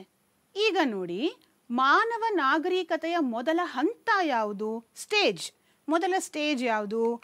ಇಲ್ಲಿ ನಾಲ್ಕು ಆಪ್ಷನ್ಸ್ ಕೊಟ್ಟಿದ್ದಾರೆ. ಬೇಟೆಗಾರಿಕೆ ಮತ್ತು ಮೀನು ಹಿಡಿಯುವ ಹಂತ, ಪ್ರಾಣಿ ಸಾಕಾಣಿಕೆಯ ಹಂತ, ಬೇಸಾಯದ ಹಂತ, ಕರಕುಶಲ ಹಂತ. ಈ ನಾಲ್ಕರಲ್ಲಿ ಮೊದಲ ಹಂತ ಯಾವುದು? ಮಾನವ ಹುಟ್ಟಿದ ತಕ್ಷಣವೇ ಅಥವಾ ಅವನ, ಅವನು ಬಂದಿದ್ದ ಕೂಡಲೇ ಆ ಒಂದು ಸಮಾಜವನ್ನು ಕಟ್ಕೊಂಡು ಎಲ್ಲ ಥರದ ಕೆಲಸಗಳನ್ನು ಶುರು ಮಾಡಲಿಲ್ಲ. ಮೊದಲಿಗೆ ಅವನು ಅಲೆಮಾರಿಯಾಗಿದ್ದ. ಕಾಡಿನಲ್ಲಿ ಒಂದು ಕಡೆಯಿಂದ ಇನ್ನೊಂದು ಕಡೆಗೆ ಓಡಾಡ್ತಾ ಇದ್ದ. ಅವ್ನಿಗೆ ಇರೋದಕ್ಕೆ ಅಂತ ಒಂದು ಪರ್ಮನೆಂಟ್ ಜಾಗ ಇರಲಿಲ್ಲ. ಹಾಗಿದ್ರೆ ಅವನು ಏನು ತಿಂತಾ ಇದ್ದ? ಅದನ್ನು ನಾವಿಲ್ಲಿ ನೋಡಬೇಕು. ಅವನು ಹೇಗೆ ಜೀವನವನ್ನು ಸಾಗಿಸ್ತಾ ಇದ್ದ ಅನ್ನೋದು ಮೊದಲನೇ ಹಂತದಲ್ಲಿ ನೋಡ್ಬೋದು. ಬೇಟೆಗಾರಿಕೆ ಮತ್ತು ಮೀನು ಹಿಡಿಯುವ ಹಂತ. ಅವನಷ್ಟೇ ಮಾಡ್ತಾ ಇದ್ದು, ಬೇಟೆ ಮಾಡ್ತಾ ಇದ್ದ ಪ್ರಾಣಿಗಳನ್ನ ತಿಂತಿದ್ದ ಮೀನುಗಳನ್ನ ಹಿಡಿದು ಅದನ್ನು ತಿಂತಿದ್ದ, ಗೆಡ್ಡೆ ಗಣಸುಗಳನ್ನ ತಿಂತಾ ಇದ್ದ. ಹೀಗೆ ಅದು ಮೊದಲನೇ ಹಂತವಾಗಿತ್ತು. ಇದನ್ನು ನೀವು ಎಂಟು ಹತ್ತು ಹಂತಗಳಿವೆ ಪಠ್ಯಪುಸ್ತಕದಲ್ಲಿ. ಅದನ್ನು ನೀವು ಹಂತ ಹಂತವಾಗಿ ತಿಳ್ಕೊಂಡು ಹೋದರೆ ತುಂಬಾ ಈಸಿ ಆಗುತ್ತೆ. ಇದು ಬ್ಯಾಂಕ್ ಹಣಕ್ಕೆ ಒಂದು ಉದಾಹರಣೆಯಾಗಿದೆ. ಹಣ ಅಂತ ನಾವು ಉಪಯೋಗಿಸ್ತೀವಿ ಅಲ್ವಾ? ಹಾಗಿದ್ರೆ ಬ್ಯಾಂಕ್ ಹಣ ಅಂದರೆ ಏನು? ಸರಿ, ಈಗ ಆಪ್ಷನ್ಸ್ನ ನೋಡಿದ್ರೆ ನಿಮಗೆ ಗೊತ್ತಾಗುತ್ತೆ. ನಾಣ್ಯಗಳು ಕರೆನ್ಸಿ ನೋಟುಗಳು ಲೋಹದ ನಾಣ್ಯಗಳು ಅಥವಾ ಚೆಕ್ಕುಗಳು. ಇದರಲ್ಲಿ ಬ್ಯಾಂಕ್ ಹಣ ಅಂದರೆ ಏನು? ಈಗ ಆನ್ಸರ್ ನೋಡ್ಬಿಡೋಣ. ಆಮೇಲೆ ಈ ನಾಣ್ಯಗಳು ನೋಟುಗಳ ಬಗ್ಗೆ ಮಾತಾಡೋಣ. ಉತ್ತರ ಬಂದು ಚೆಕ್ಕುಗಳು. ಚೆಕ್ಗಳು ಆಮೇಲೆ ಡಿ ಡಿ ಅಂತ ಹೇಳ್ತೀವಿ ನಾವು. ಆಮೇಲೆ ಕ್ರೆಡಿಟ್ ಕಾರ್ಡ್, ಡೆಬಿಟ್ ಕಾರ್ಡ್ ಇದೆಲ್ಲನೂ ಬ್ಯಾಂಕ್ ಹಣ ಅಂತ ಹೇಳ್ತೀವಿ. ಹಾಗಿದ್ರೆ ನಾಣ್ಯಗಳು, ಕರೆನ್ಸಿ ನೋಟುಗಳು, ಲೋಹದ ನಾಣ್ಯಗಳು ಇದೆಲ್ಲ ಏನು? ಇದೆಲ್ಲ ನಾವು ಹಾಗೆಯೇ ಏನಾದರೂ ವಸ್ತುಗಳನ್ನ ಕೊಂಡ್ಕೋಬೇಕಾದ್ರೆ ಯೂಸ್ ಮಾಡೋ ಅಂಥದ್ದು ಹಿಂದಿನ ಕಾಲದಲ್ಲಿ ರಾಜರು ಬಂಗಾರದ ನಾಣ್ಯಗಳು ಮತ್ತು ಲೋಹದ ನಾಣ್ಯಗಳು ಇದನ್ನೆಲ್ಲನೂ ವಿನಿಮಯಕ್ಕೋಸ್ಕರ ಇಟ್ಕೊಂಡಿದ್ರು. ಅದಾದಮೇಲೆ ಕರೆನ್ಸಿ ನೋಟುಗಳು ನಾವು ಯೂಸ್ ಮಾಡ್ತೀವಲ್ಲ, ಐನೂರು ರೂಪಾಯಿ ನೋಟು ನೂರು ರೂಪಾಯಿ ನೋಟು ಹತ್ತು ರೂಪಾಯಿ ನೋಟು ಇಪ್ಪತ್ತು ರೂಪಾಯಿ ನೋಟು ಅದನ್ನು ಕರೆನ್ಸಿ ನೋಟ್ ಅಂತ ಕರಿತೀವಿ. ಆದರೆ ಅದು ಯಾವುದು ಬ್ಯಾಂಕ್ ಹಣ ಅಲ್ಲ, ಚೆಕ್ಕುಗಳು ಬ್ಯಾಂಕ್ ಹಣಕ್ಕೆ ಸೇರಿದೆ. ಹಾಗಾಗಿ ಇದು ಬ್ಯಾಂಕ್ ಹಣಕ್ಕೆ ಸರಿಯಾದ ಉದಾಹರಣೆ. ಮುಂದಿನ ಪ್ರಶ್ನೆ ನೋಡಿ. ಸರಕು ಮತ್ತು ಸೇವೆಗಳ ಉತ್ಪಾದನೆ ಮತ್ತು ಅವುಗಳನ್ನು ಗ್ರಾಹಕರಿಗೆ ಒದಗಿಸುವ ಚಟುವಟಿಕೆಯನ್ನು ಏನಂತ ಕರೀತಾರೆ? ಇಲ್ಲಿ ಮತ್ತೆ ನಾಲ್ಕು ಆಪ್ಷನ್ ಇದೆ. ಆಪ್ಷನ್ ಎ ಉದ್ಯೋಗ. ಆಪ್ಷನ್ ಬಿ ವೃತ್ತಿ. ಆಪ್ಷನ್ ಸಿ ವ್ಯವಹಾರ. ಆಪ್ಷನ್ ಡಿ ಸಂಘಟನೆ. ಹಾಗಿದ್ರೆ ಇದರಲ್ಲಿ ಸರಿಯಾದ ಉತ್ತರ ಯಾವುದು? ಆಪ್ಷನ್ ಸಿ ವ್ಯವಹಾರ. ವ್ಯವಹಾರ ಅನ್ನೋದು ಸರಿಯಾದ ಉತ್ತರವಾಗಿದೆ. ಮುಂದಿನ ಪ್ರಶ್ನೆ, ಕೈಗಾರಿಕಾ ಕ್ರಾಂತಿ ಮತ್ತು ಭೌಗೋಳಿಕ ಅನ್ವೇಷಣೆಗಳು ಈ ಹಂತದ ಉಗಮಕ್ಕೆ ಕಾರಣವಾಗಿದ್ದೇನು? ಹಣದ ಆರ್ಥಿಕ ವ್ಯವಸ್ಥೆಯ ಹಂತ, ಪಟ್ಟಣಗಳ ಆರ್ಥಿಕತೆಯ ಹಂತ, ಅಂತಾರಾಷ್ಟ್ರೀಯ ವ್ಯಾಪಾರ ಹಂತ, ವಿನಿಮಯ ವ್ಯವಸ್ಥೆಯ ಹಂತ. ಈ ನಾಲ್ಕು ಹಂತಗಳಲ್ಲಿ ಯಾವುದು ಸರಿಯಾದ ಉತ್ತರ? ಆಪ್ಷನ್ ಸಿ ಸರಿಯಾದ ಉತ್ತರ. ಅಂತಾರಾಷ್ಟ್ರೀಯ ವ್ಯಾಪಾರ ಹಂತ. ಈ ಹಂತವು ಕೈಗಾರಿಕಾ ಕ್ರಾಂತಿ ಮತ್ತು ಭೌಗೋಳಿಕ ಅನ್ವೇಷಣೆಗಳಿಗೆ ಉಗಮವಾಗೋದಕ್ಕೆ ಕಾರಣವಾದವು. ಮಕ್ಕಳ, ಇಲ್ಲಿ ತನಕ ನಾನು ಎಲ್ಲ ಪ್ರಶ್ನೆಗಳು ಯಾವ ರೀತಿ ಬರ್ತವೆ, ಅದರ ಉತ್ತರಗಳನ್ನು ಹೇಗೆ ಬರೀಬೇಕು ಅನ್ನೋದನ್ನು ಹೇಳ್ಕೊಟ್ಟೆ. ಈಗ ಸಮಾಜ ವಿಜ್ಞಾನವನ್ನು ಹೇಗೆ ಓದೋದು? ಮಕ್ಕಳಿಗೆ ಅದೊಂದು ಕಬ್ಬಿಣದ ಕಡಲೆ ಆಗಿಬಿಟ್ಟಿದೆ. ಯಾಕೆ ಅಂತ ಹೇಳಿದ್ರೆ ಸಮಾಜ ವಿಜ್ಞಾನ ಅಂದ್ರೇ ಕಷ್ಟ. ಯಾಕೆ ಅಂದರೆ ತುಂಬ ಪಾಠಗಳಿವೆ. ಅದನ್ನು ಓದೋದು ಒಂದು ಕಡೆ ಆದರೆ ಅದರಲ್ಲಿರೋ ಕಾನ್ಸೆಪ್ಟ್ಸು ಹೆಸರುಗಳು ಅದರಲ್ಲಿರೋವಂಥ ವರ್ಷಗಳು, ಅದನ್ನೆಲ್ಲ ಜ್ಞಾಪಕ ಇಟ್ಕೋಬೇಕಲ್ಲ? ಅದು ತುಂಬಾ ಕಷ್ಟ. ಹೇಗೆ ಓದೋದು ಅಂತ ಎಷ್ಟೋ ಮಕ್ಕಳು ಕೇಳ್ತಾರೆ. ಆದರೆ ಇಲ್ಲಿ ಎನ್ ಎಂ ಎಂ ಎಸ್ ಪರೀಕ್ಷೆಯಲ್ಲಿ ನಮಗಿರುವಂಥ ಒಂದು ಅಡ್ವಾಂಟೇಜ್ ಏನಂದರೆ ಇದೆಲ್ಲ ಬಹು ಆಯ್ಕೆ ಪ್ರಶ್ನೆಗಳಾಗಿರೋದ್ರಿಂದ ಪೂರ್ತಿಯಾಗಿ ನಿಮ್ಮ ಪಠ್ಯಪುಸ್ತಕದಲ್ಲಿರುವಂತಹ ಪಾಠಗಳನ್ನ ಮನದಟ್ಟು ಮಾಡಿಕೊಂಡ್ರೆ ಸಾಕು. ಎಲ್ಲ ಉತ್ತರಗಳನ್ನ ಬರಿಬೋದು. ಆದರೆ ನೀವು ಪರೀಕ್ಷೆಯನ್ನು ಎದುರಿಸ್ಬೇಕಾದ್ರೆ ಕೆಲವು ಕಟ್ಟುನಿಟ್ಟಿನ ಸಲಹೆ ಸೂಚನೆಗಳನ್ನು ನೀವು ಪಾಲಿಸಬೇಕಾಗತ್ತೆ. ಅದೇನದು? ಹೇಗೆ ಪರೀಕ್ಷೆಗೆ ಸಿದ್ಧತೆ ಮಾಡ್ಕೋಬೇಕು? ಪರೀಕ್ಷೆಗೆ ಹೇಗೆ ತಯಾರಿ ಮಾಡ್ಕೊಳ್ಬೇಕು? ನಾನು ಕೆಲವು ಸಲಹೆ ಸೂಚನೆಗಳನ್ನ ಹೇಳ್ಕೊಡ್ತೀನಿ. ಅದ್ರ ಪ್ರಕಾರ ಮಾಡ್ಕೊಂಡು ಹೋದರೆ ಸಮಾಜ ವಿಜ್ಞಾನ ನಿಮಗೆ ತುಂಬ ಸುಲಭವಾದ ವಿಷಯ ಆಗುತ್ತೆ. ಮೊದಲನೇದು ನೋಡಿ, ಸೂಕ್ತ ತಯಾರಿ ಮಾಡಿಕೊಳ್ಳುವುದು. ಸೂಕ್ತ ತಯಾರಿ ಮಾಡಿಕೊಳ್ಳುವುದು ಅಂದರೆ ಏನು? ನಾವು ಪಠ್ಯಪುಸ್ತಕದಲ್ಲಿ ಏನೇನಿದೆ? ಯಾವ ಪಾಠದಲ್ಲಿ ಏನಿದೆ ಅನ್ನೋದನ್ನು ಮೊದಲು ಗುರುತು ಮಾಡ್ಕೊಳ್ಬೇಕು. ಅದೆಲ್ಲದಕ್ಕಿಂತ ಹೆಚ್ಚಾಗಿ ಸಮಾಜ ವಿಜ್ಞಾನ ಕಷ್ಟವಾದ ವಿಷಯ ಅಲ್ವೇ ಅಲ್ಲ. ಅದು ತುಂಬ ಸುಲಭ. ನಾನು ಒಂದು ಸರ್ತಿ ಅಥವಾ ಎರಡು ಸತಿ ಓದಿ ಒಂದು ಸತಿ ಬರೆದಿದ ತಕ್ಷಣ ನನಗೆ ಅದು ಚೆನ್ನಾಗಿ ಅರ್ಥ ಆಗುತ್ತೆ ಅನ್ನೋದನ್ನು ನಮಗೆ ನಾವು ನಲ್ವತ್ತು ಸತಿ ಹೇಳ್ಕೊತಾ ಇರಬೇಕು. ನಾವು ಅರ್ಥ ಮಾಡ್ಕೋತಾ ಇದ್ದೀವಿ ಅಂತ ನಾವು ಅನ್ಕೋಬೇಕು. ಅಯ್ಯೋ, ಇದು ಕಷ್ಟ ಕಷ್ಟ ಅಂತ ಬಿಟ್ಟರೆ ನಾವೇನು ಓದೋಕ್ಕಾಗೋದೇ ಇಲ್ಲ. ಹಾಗಾಗಿ ಮೊದಲು ನಾವು ಮೆಂಟಲಿ ಪ್ರಿಪೇರ್ ಆಗಬೇಕು. ಮಾನಸಿಕವಾಗಿ ನಾವು ಮೊದಲು ತಯಾರಿ ಮಾಡ್ಕೋಬೇಕು. ಎರಡನೇದು ನೋಡಿ, ಪಾಠವನ್ನು ವಿವರವಾಗಿ ಓದಿ ಮುಖ್ಯವಾದ ಅಂಶಗಳನ್ನು ಗುರುತು ಮಾಡಿಕೊಳ್ಳುವುದು. ಒಂದೊಂದರಲ್ಲೂ ಎಂಟರಿಂದ ಹತ್ತು ಪಾಠ ಇದೆ. ಇತಿಹಾಸದಲ್ಲಿದೆ, ಭೂಗೋಳದಲ್ಲಿದೆ, ಮತ್ತು ರಾಜಶಾಸ್ತ್ರದಲ್ಲಿ ಒಂದು ನಾಲ್ಕೈದು ಪಾಠಗಳಿವೆ. ವ್ಯವಹಾರ ಅಧ್ಯಯನದಲ್ಲೂ ಇದೆ, ಅರ್ಥಶಾಸ್ತ್ರ, ಸಮಾಜಶಾಸ್ತ್ರ, ಹೀಗೆ ಆರು ವಿಧ ವಿವಿಧವಾದ ಭಾಗಗಳಿವೆ. ಅದರಲ್ಲಿ ಎಲ್ಲ ಪಾಠವನ್ನು ಓದಿ ಈ ಮುಖ್ಯವಾದ ಅಂಶಗಳು ಅಂತ ನಮ್ಗೆ ಹೇಗೆ ಗೊತ್ತಾಗುತ್ತೆ? ಇದು ಮುಖ್ಯವಾದ ಅಂಶ ಅಂತ ಕೆಲವು ಅಂಶಗಳನ್ನು ರಿಪೀಟ್ ಮಾಡಿರ್ತಾರೆ. ಒಂದೆರಡು ಸತಿ ಅದನ್ನೇ ಹೇಳಿರ್ತಾರೆ. ಅದನ್ನು ನೀವು ಗುರ್ತು ಮಾಡ್ಕೊಳ್ಳಿ ಹೈಲೈಟ್ ಮಾಡಿ ಇಟ್ಕೊಳ್ಳಿ. ಆವಾಗ ನಿಮಗೆ ಅನುಕೂಲ ಆಗುತ್ತೆ. ಬರೀ ನೀವು ಹೈಲೈಟ್ ಮಾಡಿ ಇಟ್ಕೊಂಡು ಟೆಕ್ಸ್ಟ್ ಬುಕ್ಕಲ್ಲಿ ಗುರ್ತು ಮಾಡಿ ಇಟ್ಕೊಂಡ್ಬಿಟ್ರೆ ಅದೊಂದು ದೊಡ್ಡ ಕೆಲಸ ಅಲ್ಲ. ಅಲ್ಲಿ ಎಲ್ಲಾದರೂ ಒಂದು ಕಡೆ ಅದನ್ನು ಬರೆದಿಟ್ಕೊಂಡು ಅವಾಗವಾಗ ಅವಾಗ ಅದನ್ನು ಪುನರಾವರ್ತನೆ ಮಾಡ್ಕೊಳ್ತಿರ್ಬೇಕು.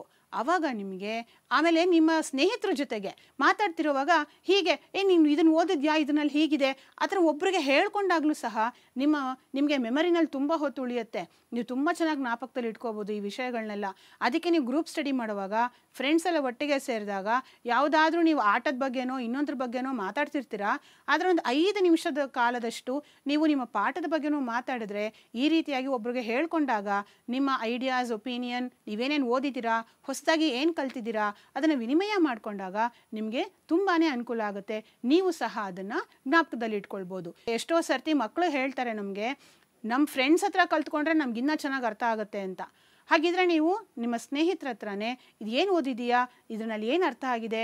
ನೀನು ನಂಗೆ ಸ್ವಲ್ಪ ಹೇಳ್ಕೊಡ್ತೀಯಾ? ಅಂತ ಕೇಳಿದಾಗ ಅವ್ರಿಗೂ ಅರ್ಥ ಆಗುತ್ತೆ, ನಿಮಗೂ ಅರ್ಥ ಆಗಿರುತ್ತೆ. ಪಾಠಗಳಲ್ಲಿ ಬರುವ ಸನ್ನಿವೇಶಗಳನ್ನು ದೃಶ್ಯೀಕರಣ ಮಾಡಿಕೊಳ್ಳುವುದು ಈಗ ಯಾವುದೋ ಒಂದು ಯುದ್ಧ ಬಂತು, ಅಥವಾ ನಾವು ಅಂಬೇಡ್ಕರ್ ಅವ್ರ ಬಗ್ಗೆ ಓದ್ತಾ ಇರ್ತೀವಿ, ಅಥವಾ ಇನ್ಯಾರಾದರೂ ಸ್ವಾಮಿ ವಿವೇಕಾನಂದರ ಬಗ್ಗೆ ಓದ್ತಾ ಇರ್ತೀವಿ, ಅದನ್ನು ದೃಶ್ಯೀಕರಣ, ಈಗ ಸಿನಿಮಾ ನೋಡಿದ ಹಾಗೆ ಒಂದೊಂದೇ ದೃಶ್ಯ ಬರುತ್ತಲ್ಲ, ಹಾಗೆ ನೀವು ದೃಶ್ಯೀಕರಣ ಮಾಡ್ಕೊಳ್ಳಿ. ಆವಾಗ ನಿಮ್ಗೆ ಅದು ತುಂಬ ಚೆನ್ನಾಗಿ ಜ್ಞಾಪಕದಲ್ಲಿರುತ್ತೆ. ವಿಜುವಲೈಸೇಷನ್ ಅಂತ ಹೇಳ್ತೀವಿ ನಾವು ಇದನ್ನು. ಇದು ನಿಮಗೆ ತುಂಬ ಚೆನ್ನಾಗಿ ನೆನಪಲ್ಲಿರುತ್ತೆ. ನಮಗೆ ಸಿನಿಮಾಗಳು, ಅದರ ಹಾಡುಗಳು ಎಲ್ಲ ಹೇಗೆ ಜ್ಞಾಪಕ ಇರುತ್ತೆ ಹೇಳಿ, ದೃಶ್ಯೀಕರಣ ಜೋರಾಗಿರುತ್ತೆ ಹೇಳಿ. ಅದೇ ರೀತಿ ನೀವು ಇಮ್ಯಾಜಿನ್ ಮಾಡ್ಕೊಳ್ಬೇಕು, ಹಾಗೆ ಒಂದು ದೃಶ್ಯೀಕರಣವನ್ನು ಮಾಡ್ಕೋಬೇಕು. ಆಗ ಎಲ್ಲ ಪಾಠದ ಸನ್ನಿವೇಶಗಳನ್ನು ನೀವು ಜ್ಞಾಪಕದಲ್ಲಿ ಇಟ್ಕೊಳ್ಬೋದು. ಇಸವಿಗಳು, ವರ್ಷಗಳು ಗುರುತು ಮಾಡಿಕೊಳ್ಳೋದು, ಗುರ್ತೇನೋ ಮಾಡ್ಕೊಳ್ತೀವಿ. ಆದರೆ ಜ್ಞಾಪಕ ಹೇಗೆ ಇಟ್ಕೊಳ್ಳೋದು ಇಸವಿಗಳು, ವರ್ಷಗಳು ನಾನು ಆವಾಗಲೇ ಪ್ರಶ್ನೆಗಳನ್ನ ಕೇಳ್ತಾ ಹೇಳಿದೆ ನಾನು. ಒಂದಕ್ಕಿಂತ ಒಂದು ಡಿಫ್ರೆನ್ಸೇ ಇರೋದಿಲ್ಲ. ಎರಡು ಸಾವಿರದ ಹದಿಮೂರು, ಎರಡು ಸಾವಿರದ ಹದಿನಾಲ್ಕು ಆ ಥರ ಇರುತ್ತೆ. ನಾವು ಹೇಗೆ ಜ್ಞಾಪಕದಲ್ಲಿ ಇಟ್ಕೊಳ್ಳೋದು? ಹೇಗೆ ಅಂತ ಹೇಳಿದ್ರೆ, ಅದನ್ನು ಯಾವುದಾದ್ರೂ ಒಂದು ನಿಮಗೆ ಹತ್ತಿರವಾದ ಸಂಬಂಧ, ಸಂಬಂಧಪಟ್ಟಿರುವಂತಹ ವಸ್ತುಗೆ ಕನೆಕ್ಟ್ ಮಾಡ್ಕೊಳ್ಳಿ. ನಿಮ್ಮ ಡೇಟ್ ಆಫ್ ಬರ್ತ್ ಆಗಿರ್ಬೋದು ಬರ್ತ್ಡೇ ಆಗಿರ್ಬೋದು ಫ್ರೆಂಡ್ಸ್ ಬರ್ತ್ಡೇ ಅಥವಾ ನಿಮ್ಮ ಫೋನ್ ನಂಬರ್ ಮನೆ ನಂಬರ್ ಹೀಗೆ ಇಸುವೆಗಳನ್ನು ನೀವು ಜ್ಞಾಪಕದಲ್ಲಿ ಇಟ್ಕೋಬೋದು. ಸ್ವಲ್ಪ ಕಷ್ಟ ಆಗುತ್ತೆ, ಆದರೆ ಅಸಾಧ್ಯ ಅಂತೂ ಅಲ್ಲ ಅಲ್ವಾ? ಏನು ಬೇಕಾದರೂ ನಾವು ಮಾಡಬಹುದು. ನಿಮ್ಮಂಥ ಮಕ್ಕಳಂತೂ ತುಂಬ ಬುದ್ಧಿವಂತ ಮಕ್ಕಳು. ಈ ರೀತಿಯಾಗಿ ಮಾಡಿದಾಗ ಎಲ್ಲ ಇಸುವಿಗಳು ಮತ್ತು ವರ್ಷಗಳನ್ನು ಗುರುತು ಮಾಡಿಕೊಳ್ಬೋದು, ಮತ್ತು ಜ್ಞಾಪಕದಲ್ಲೂ ಸಹ ಇಟ್ಕೋಬೋದು ನಕ್ಷೆಯ ಮೇಲೆ ಗುರುತು ಮಾಡಿಕೊಳ್ಳುವುದು ಈಗ ಭಾರತದ ನಕ್ಷೆ ಯಾವ ವಂಶದವರು ಎಲ್ಲಿ ಆಳ್ತಾ ಇದ್ರು ಅಥವಾ ಇನ್ನೇನಾದರೂ ಗುರುತು ಮಾಡೋದಕ್ಕಾಗಿರ್ಬೋದು, ಯಾವುದಾದ್ರೂ ಒಂದು ನದಿ ಅಥವಾ ಯಾವುದಾದ್ರೂ ಒಂದು ಪರ್ವತ ಹೀಗೆ ಏನಾದರೂ ಗುರುತು ಮಾಡ್ಕೊಳ್ಳೋವಾಗ ನೀವು ಒಂದು ನಕ್ಷೆಯನ್ನು ತೆಗೆದುಕೊಂಡು ಅದರ ಮೇಲೆ ಕಲರ್ ಪೆನ್ಸಿಲ್ ಅಥವಾ ಸ್ಕೆಚ್ ಪೆನ್ ಯಾವುದಾದ್ರೂ ಒಂದು ಬಣ್ಣ ಬಣ್ಣವಾಗಿರೋದು, ಅಂದರೆ ನೋಡಿದ ಕೂಡಲೇ ನಿಮ್ಗೆ ಅಟ್ರಾಕ್ಟ್ ಆಗಬೇಕದು. ಆ ಥರದ್ರಲ್ಲಿ ನೀವು ಬರ್ಕೊಂಡು ಅದನ್ನು ಪದೇ ಪದೇ ನೋಡ್ಕೊಳ್ತಾ ಇರೋದ್ರಿಂದ ಬಹಳ ಬೇಗ ನಕ್ಷೆಯಲ್ಲಿ ಏನು ಬರೆದಿದ್ದೀರಾ, ಅದನ್ನು ನಿಮಗೆ ಜ್ಞಾಪಕನೂ ಇರುತ್ತೆ. ಅದನ್ನು ನೀವು ಕಳೆದು ಹಾಕೋದೂ ಇಲ್ಲ. ಯಾಕೆ ಅಂತ ಹೇಳಿದ್ರೆ ತುಂಬ ಚೆನ್ನಾಗಿರುತ್ತಲ್ಲ ನೋಡೋದಕ್ಕೆ ಕಲರ್ ಕಲರ್ ಆಗಿ. ಹಾಗಾಗಿ ಅದನ್ನು ನಾವು ತುಂಬ ದಿನ ಕಾಪಾಡ್ಕೊಳ್ತೀವಿ. ಅದು ನಿಮ್ಮ ಜ್ಞಾಪಕ ಶಕ್ತಿ ಮೇಲೆ ತುಂಬ ಒಳ್ಳೆಯ ಪ್ರಭಾವವನ್ನು ಸಹ ಬೀಳುತ್ತೆ. ಈ ರೀತಿಯಾಗಿ ನೀವು ಕಲರ್ ಪೆನ್ಸಿಲ್ ಕಲರ್ ಪೆನ್ನನ್ನು ಯೂಸ್ ಮಾಡಿ ಏನು ಬೇಕಾದರೂ ಬರ್ಕೋಬೋದು. ಅದು ಆ್ಯಕ್ಟಿವಿಟೀಸ್ ಎಲ್ಲ ಮಾಡ್ಬೋದು. ಅದರಿಂದ ನಿಮಗೆ ಚೆನ್ನಾಗಿ ಜ್ಞಾಪಕ ಇರುತ್ತೆ. ಪುನರಾವರ್ತನೆ ಮಾಡಿಕೊಳ್ಳುವುದು ಇದನ್ನೆಲ್ಲ ಗುರ್ತು ಮಾಡಿಕೊಂಡು ಒಂದು ಮೂಲೆಯಲ್ಲಿ ಎಲ್ಲ ಪುಸ್ತಕಗಳನ್ನು ಇಡೋ ಹಾಗಿಲ್ಲ. ಅದನ್ನು ಅವಾಗವಾಗ ಪುನರಾವರ್ತನೆ ಮಾಡ್ಕೋಬೇಕು. ನನಗೆ ಅರ್ಥ ಆಗುತ್ತೆ. ಆರು ಸಬ್ಜೆಕ್ಟ್ ಓದಬೇಕು ಮಿಸ್. ಅದು ಹೇಗೆ ನಾವು ಎಲ್ಲ ಸಬ್ಜೆಕ್ಟನ್ನು ನಾವು ಪುನರಾವರ್ತನೆ ಮಾಡ್ಕೊಳ್ಳೋದು? ಇದಕ್ಕೆ ನೀವೇನು ಮಾಡಬೇಕು ಅಂತ ಹೇಳಿದ್ರೆ ಮುಂಚಿನಿಂದಾನು ಒಂದು ಟೈಮ್ ಟೇಬಲ್ ಅಂತ ಮಾಡಿಟ್ಕೊಳ್ಬೇಕು. ಈಗ ನೀವೆಲ್ಲ ದೊಡ್ಡ ಮಕ್ಕಳಾಗಿದ್ದೀರಿ ನೀವಾಗ ನೀವೇ ಆರಾಮಾಗಿ ಒಂದು ಟೈಮ್ ಟೇಬಲ್ ಮಾಡ್ಕೊಳ್ಳಿ. ಹೇಗೆ ಟೈಮ್ ಟೇಬಲ್ ಮಾಡ್ಕೊಳ್ಳೋದು? ಇಷ್ಟು ಹೊತ್ತು ನಾನು ಗಣಿತವನ್ನು ಪ್ರಾಕ್ಟೀಸ್ ಮಾಡ್ತೀನಿ. ಇಷ್ಟು ಹೊತ್ತು ಇಂಗ್ಲೀಷ್ ಓದ್ತೀನಿ. ಇಷ್ಟು ಹೊತ್ತು ಕನ್ನಡ ಮಾಡ್ತೀನಿ. ಇಷ್ಟು ಹೊತ್ತು ವಿಜ್ಞಾನ ಮಾಡ್ತೀನಿ. ವಿಜ್ಞಾನದಲ್ಲಿರುವ ಚಿತ್ರಗಳನ್ನ ನಾನು ಪ್ರಾಕ್ಟೀಸ್ ಮಾಡ್ತೀನಿ. ಅಥವಾ ಇಷ್ಟು ಹೊತ್ತು ನಾನು ಸಮಾಜ ವಿಜ್ಞಾನ ಇದನ್ನು ಓದ್ಕೊಳ್ತೀನಿ. ಹೀಗೆ ಬರೆಯೋದು ಒಂದೇ ಅಲ್ಲ, ಅದ್ರ ಪ್ರಕಾರನೇ ನೀವು ನಡ್ಕೊಳ್ಬೇಕು. ಆವಾಗ ನಿಮಗೆ ಮುಂದಕ್ಕೂ ತುಂಬಾ ಉಪಯೋಗ ಆಗುತ್ತೆ. ಈ ಒಂದು ಸಲಹೆ ಸೂಚನೆಗಳನ್ನು ಪಾಲಿಸಿದ್ರೆ ಆವಾಗ ನಿಮಗೆ ತುಂಬಾ ಉಪಯೋಗ ಆಗುತ್ತೆ. ಸ್ವಯಂ ಪರೀಕ್ಷೆಗಳನ್ನು ಮಾಡಿಕೊಳ್ಳುವುದು. ಪ್ರತಿ ಸತಿ ಟೀಚರೇ ಕೊಡಬೇಕು ಪ್ರಶ್ನೆ ಪತ್ರಿಕೆ ಅಂತ ಏನೂ ಇಲ್ಲ. ನೀವೇನು ಮಾಡ್ಬೋದು? ನೀವೇ ಇವಾಗ ಗೊತ್ತಾಗಿದೆಯಲ್ಲ ಯಾವ ರೀತಿಯಾದ ಪ್ರಶ್ನೆಗಳನ್ನ ಕೇಳ್ತೀವಿ ಅಂತ ನಿಮಗೆ ಗೊತ್ತಾಗಿದೆ. ನೀವಾಗ ನೀವೇ ಪ್ರಶ್ನೆ ಪತ್ರಿಕೆಗಳನ್ನ ಮಾಡ್ಕೊಳ್ಳಿ, ನೀವಾಗ ನೀವೇ ಉತ್ತರವನ್ನು ಬರೀರಿ, ನೀವೇ ಅದನ್ನು ಕರೆಕ್ಷನ್ ಮಾಡ್ಕೊಳ್ಳಿ ಅಥವಾ ನಿಮ್ಮ ಫ್ರೆಂಡ್ಸಿಗೆ ಕೊಡಿ, ಓ ನಾನು ಕರೆಕ್ಷನ್ ಮಾಡಿಕೊಡು, ಎಷ್ಟು ಮಾರ್ಕ್ಸ್ ಬಂದಿದೆ ನೋಡೋಣ ಅಂತ. ನೀವೆಲ್ಲಿ ತಪ್ಪು ಮಾಡಿದ್ದೀರಾ ಅದು ನಿಮಗೆ ಗೊತ್ತಾಗುತ್ತೆ. ಅದಕ್ಕೆಲ್ಲದಕ್ಕಿಂತ ಹೆಚ್ಚಾಗಿ ಪ್ರಶ್ನೆ ಪತ್ರಿಕೆ ಹೇಗಿರುತ್ತೆ ಅನ್ನೋದು ನಿಮಗೆ ಹೇಗೆ ಗೊತ್ತಾಗುತ್ತೆ ಹಿಂದಿನ ವರ್ಷಗಳ ಪ್ರಶ್ನೆ ಪತ್ರಿಕೆಗಳನ್ನು ಉತ್ತರಿಸುವುದು.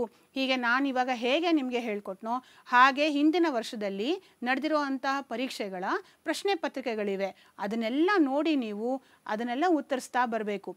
ಟೆಕ್ಸ್ಟ್ ಬುಕ್ ನೋಡಿನೇ ಒಂದು, ಒಮ್ಮೆ ಎಲ್ಲ ಉತ್ತರಿಸಿ, ಆಮೇಲೆ ಟೆಕ್ಸ್ಟ್ ಬುಕ್ನ ಮುಚ್ಚು ಪಕ್ಕಕ್ಕಿಟ್ಟು, ಆಮೇಲಿಂದ ಉತ್ತರಿಸಿ ಆವಾಗ ನಿಮಗೆ ಗೊತ್ತಾಗುತ್ತೆ ಯಾವ ಪಾಠ ನಿಮಗೆ ಅರ್ಥ ಆಗಿಲ್ಲ ಅಂತ. ಅದನ್ನು ಮತ್ತೆ ಪುನರಾವರ್ತನೆ ಮಾಡ್ಕೊಳ್ಳಿ. ಇದು ತುಂಬ ಈಸಿ ಮತ್ತು ಆಟ ಆಡ್ದ ಹಾಗೂ ಇರುತ್ತೆ. ತುಂಬ ಚೆನ್ನಾಗಿರುತ್ತೆ. ಇದನ್ನು ನೋಡಿ ಒಂದು ಸರ್ತಿ ನೀವು ಮಾಡಿ ನೋಡಿ. ಹಿಂದಿನ ವರ್ಷಗಳ ಪ್ರಶ್ನೆ ಪತ್ರಿಕೆಗಳನ್ನು ತಗೊಂಡು ಸ್ವಯಂ ಪರೀಕ್ಷೆಗಳನ್ನ ಮಾಡ್ಕೊಳ್ಳಿ. ಆವಾಗ ನಿಮಗೆ ಬಹಳ ಸುಲಭವಾಗಿ ಸಮಾಜ ವಿಜ್ಞಾನ ಅರ್ಥ ಆಗುತ್ತೆ. ಈ ಸಲಹೆ ಸೂಚನೆಗಳ ಜೊತೆಗೆ ನಿಮ್ಮದೇ ಆದ ಏನಾದರೂ ಒಂದು ಟೆಕ್ನಿಕ್ ಇದ್ದರೆ ಅದನ್ನು ನೀವು ಯೂಸ್ ಮಾಡಿ, ಸಮಾಜ ವಿಜ್ಞಾನವನ್ನು ಚೆನ್ನಾಗಿ ಓದಿ ಅರ್ಥ ಮಾಡ್ಕೊಳ್ಳಿ. ಯಾಕೆ ಅಂತ ಹೇಳಿದ್ರೆ ಎಷ್ಟೋ ಜನ ಮಕ್ಕಳು ಸೈನ್ಸ್, ಮ್ಯಾಥ್ಸ್ ಸ್ವಲ್ಪ ಕಷ್ಟ. ಅದನ್ನು ಓದೋದು ಮತ್ತು ಅದು ಕಲಿಯೋದು ಕಷ್ಟ ಅಂತ ಹೇಳ್ತಾರೆ, ಈ ಸಲಹೆ ಸೂಚನೆಗಳನ್ನು ನೀವು ಆ ವಿಷಯಗಳಿಗೂ ಸಹ ಯೂಸ್ ಮಾಡ್ಕೊಳ್ಬೋದು. ಈ ಒಂದರ, ಒಂದು ಸರ್ತಿ ನೀವು ಈ ಥರದ್ದು ಶುರು ಮಾಡಿಬಿಟ್ರೆ ನೀವು ಓದೋದನ್ನು ಬಿಡೋದೇ ಇಲ್ಲ. ಯಾಕೆ ಅಂತ ಹೇಳಿದ್ರೆ ಓದೋದು ಬಿಟ್ಟರೆ ವಿದ್ಯಾರ್ಥಿಗೆ ಬೇರೆ ಏನೂ ಕೆಲಸ ಇಲ್ಲ ಅಲ್ವಾ? ಹಾಗಾಗಿ ನೀವು ಎಲ್ಲ ಸಲಹೆಗಳು, ನಿಮ್ಮ ಶಿಕ್ಷಕರು ಏನು ಸಲಹೆಗಳನ್ನ ಕೊಡ್ತಾರೆ, ಆ ಸಲಹೆಗಳನ್ನ ಪಾಲಿಸಿ ಮಕ್ಕಳ, ಕೆಲವು ಮಕ್ಕಳಿಗೆ ನಾವು ಎಕ್ಸಾಮ್ ಹಾಲ್ಗೆ ಹೋಗಿದ ತಕ್ಷಣವೇ ನಮಗೆ ತುಂಬಾ ಭಯ ಆಗೋಗುತ್ತೆ ಮೇಡಮ್ ಮರ್ತೋಗ್ಬಿಡ್ತೀವಿ ನಾವೆಲ್ಲ. ಏನು ಏನದು ಬ್ಲ್ಯಾಂಕ್ ಆಗಿಬಿಡ್ತೀವಿ ಅಂತ ಹೇಳ್ತಾರೆ. ಅದಕ್ಕೆ ಕಾನ್ಫಿಡೆನ್ಸ್ ಇರೋದಿಲ್ಲ ನಿಮಗೆ. ಓದಿರೋದು ನನಗೆ ಎಲ್ಲ ಗೊತ್ತಿದೆ. ನಾನೆಲ್ಲ ಕಲ್ತ್ಕೊಂಡಿದ್ದೀನಿ ನಾನು ಇವತ್ತಿನ ದಿನ ಈ ಪ್ರಶ್ನೆ ಪತ್ರಿಕೆಯನ್ನು ಎಲ್ಲ ಉತ್ತರನ ಬರಿತೀನಿ. ಎಲ್ಲ ಪ್ರಶ್ನೆಗಳನ್ನು ನಾನು ಉತ್ತರಿಸ್ತೀನಿ ಅನ್ನೋ ಒಂದು ಕಾನ್ಫಿಡೆನ್ಸ್ ಇರಬೇಕು. ಆವಾಗ ಮಾತ್ರ ನೀವು ಈ ಭಯವನ್ನು ಹೋಗಲಾಡಿಸ್ಕೊಳ್ಬೋದು. ಈ ಪರೀಕ್ಷೆಗಳು ನಿಮಗೆ ಸಣ್ಣ ಸಣ್ಣ ಪರೀಕ್ಷೆಗಳು. ಮುಂದಕ್ಕೆ ದೊಡ್ಡ ದೊಡ್ಡ ಪರೀಕ್ಷೆ ಬಂದಾಗ ನೀವು ಹಾಗೆ ಹೆದರ್ಕೊಂಡು ಕೂತ್ಕೊಳ್ಳೋಕ್ಕಾಗೋದಿಲ್ಲ ಅಲ್ವಾ? ಹಾಗಾಗಿ ನೀವೇ ಸ್ವಯಂ ಪರೀಕ್ಷೆಗಳನ್ನ ಮಾಡ್ಕೊಳ್ಳಿ. ನಿಮ್ಮ ಪೋಷಕರು ಹೇಳ್ತಾರೆ, ಹೇಗೆ ಪರೀಕ್ಷೆಗಳನ್ನ ಮಾಡ್ಕೊಳ್ಳೋದು? ನಿಮ್ಮ ಶಿಕ್ಷಕರ ಸಹಾಯದಿಂದ ನೀವು ಇನ್ನೂ ನಿಮ್ಮ ಕಾನ್ಫಿಡೆನ್ಸ್ ಲೆವೆಲನ್ನು ಮುಂದುವರಿಸ್ಕೊಂಡು ಹೋಗ್ಬೋದು. ಈ ಹಿಂದಿನ ಪ್ರಶ್ನೆ ಪತ್ರಿಕೆಗಳನ್ನು ಉತ್ತರಿಸೋದು ಬರೀ ಎನ್ ಎಂ ಎಂ ಎಸ್ಗೆ ಮಾತ್ರ ಮೀಸಲಾಗಿಡಬೇಡಿ. ಮುಂದಕ್ಕೆ ನೀವು ದೊಡ್ಡ ದೊಡ್ಡ ಸ್ಪರ್ಧಾತ್ಮಕ ಪರೀಕ್ಷೆಗಳಿಗೆ ಹೋಗುವಾಗ ನಿಮಗೆ ಒಂದು ಐಡಿಯಾ ಬರುತ್ತೆ, ಯಾವ ರೀತಿ ಪ್ರಶ್ನೆಗಳನ್ನ ಕೇಳ್ತಾರೆ, ಯಾವ ರೀತಿ ಉತ್ತರಗಳನ್ನ ಅವ್ರು ಎಕ್ಸ್ಪೆಕ್ಟ್ ಮಾಡ್ತಾರೆ ಅಂತ. ಹಾಗಾಗಿ ನೀವು ಹಿಂದಿನ ವರ್ಷಗಳ ಪ್ರಶ್ನೆ ಪತ್ರಿಕೆಗಳನ್ನು ಓದೋದ್ರಿಂದ ನಿಮಗೆ ತುಂಬಾ ಅನುಕೂಲ ಆಗುತ್ತೆ. ನಾವು ಯಾಕೆ ಇಷ್ಟೊಂದೆಲ್ಲ ನಿಮ್ಗೆ ಹೇಳ್ತಾ ಇದ್ದೀವಿ ಅಂತ ಹೇಳಿದ್ರೆ, ನೀವು ಎನ್ ಎಂ ಎಂ ಎಸ್ ಪರೀಕ್ಷೆಯಲ್ಲಿ ತುಂಬ ಚೆನ್ನಾಗಿ ಓದಬೇಕು ಒಳ್ಳೆ ಅಂಕಗಳನ್ನ ಪಡಿಬೇಕು ಸ್ಕಾಲರ್ಶಿಪ್ ತಗೋಬೇಕು, ಅದೇ ನಮ್ಮೆಲ್ಲರ ಆಸೆ. ಹಾಗಾಗಿ ವಿದ್ಯಾರ್ಥಿಗಳಿಗೆ ತುಂಬ ಅನುಕೂಲ ಆಗಲಿ ಅಂತಲೇ ನಮ್ಮ D S E R T ವತಿಯಿಂದ ಈ ಒಂದು ಕಾರ್ಯಕ್ರಮವನ್ನು ಹಮ್ಮಿಕೊಂಡಿದ್ದೀವಿ. ನಾವು ಈ ಎಲ್ಲ ಸಲಹೆ ಸೂಚನೆಗಳನ್ನ ಕೊಟ್ಟಿದ್ದೀವಿ. ಯಾವ ಪ್ರಶ್ನೆಗೆ ಹೇಗೆ ಉತ್ತರ ಕೊಡಬೇಕು ಅನ್ನೋದು ಸಹ ನಾವು ಹೇಳ್ಕೊಟ್ಟಿದ್ದೀವಿ. ಹಾಗಿದ್ರೆ ಇನ್ನು ಮುಂದೆ ನಿಮ್ಮ ಒಂದು ಜವಾಬ್ದಾರಿಯಾಗಿರುತ್ತೆ. ನೀವೇನು ಮಾಡಬೇಕು? ನಾವು ಕೊಟ್ಟಿರುವಂತಹ ಪ್ರಶ್ನೆಗಳು, ಸಲಹೆಗಳು, ಸೂಚನೆಗಳು ಇದನ್ನೆಲ್ಲನೂ ನೀವು ಪಾಲಿಸಿ ಆವಾಗ ನೀವು ಒಳ್ಳೆಯ ಅಂಕಗಳನ್ನ ತಗೊಳ್ಬೋದು. ಹೀಗೆ ನೀವು ಎನ್ ಎಂ ಎಂ ಎಸ್ ಪರೀಕ್ಷೆಯನ್ನು ಬರೆದು ಒಳ್ಳೆಯ ಅಂಕಗಳನ್ನ ತಗೊಳ್ಳಿ. ಹಾಗೆಯೇ ನಿಮ್ಮ ಭವಿಷ್ಯ ಉಜ್ವಲವಾಗಿರಲಿ ಅಂತ ಹಾರೈಸ್ತಾ ಇದ್ದೀನಿ. ನಮಸ್ಕಾರ.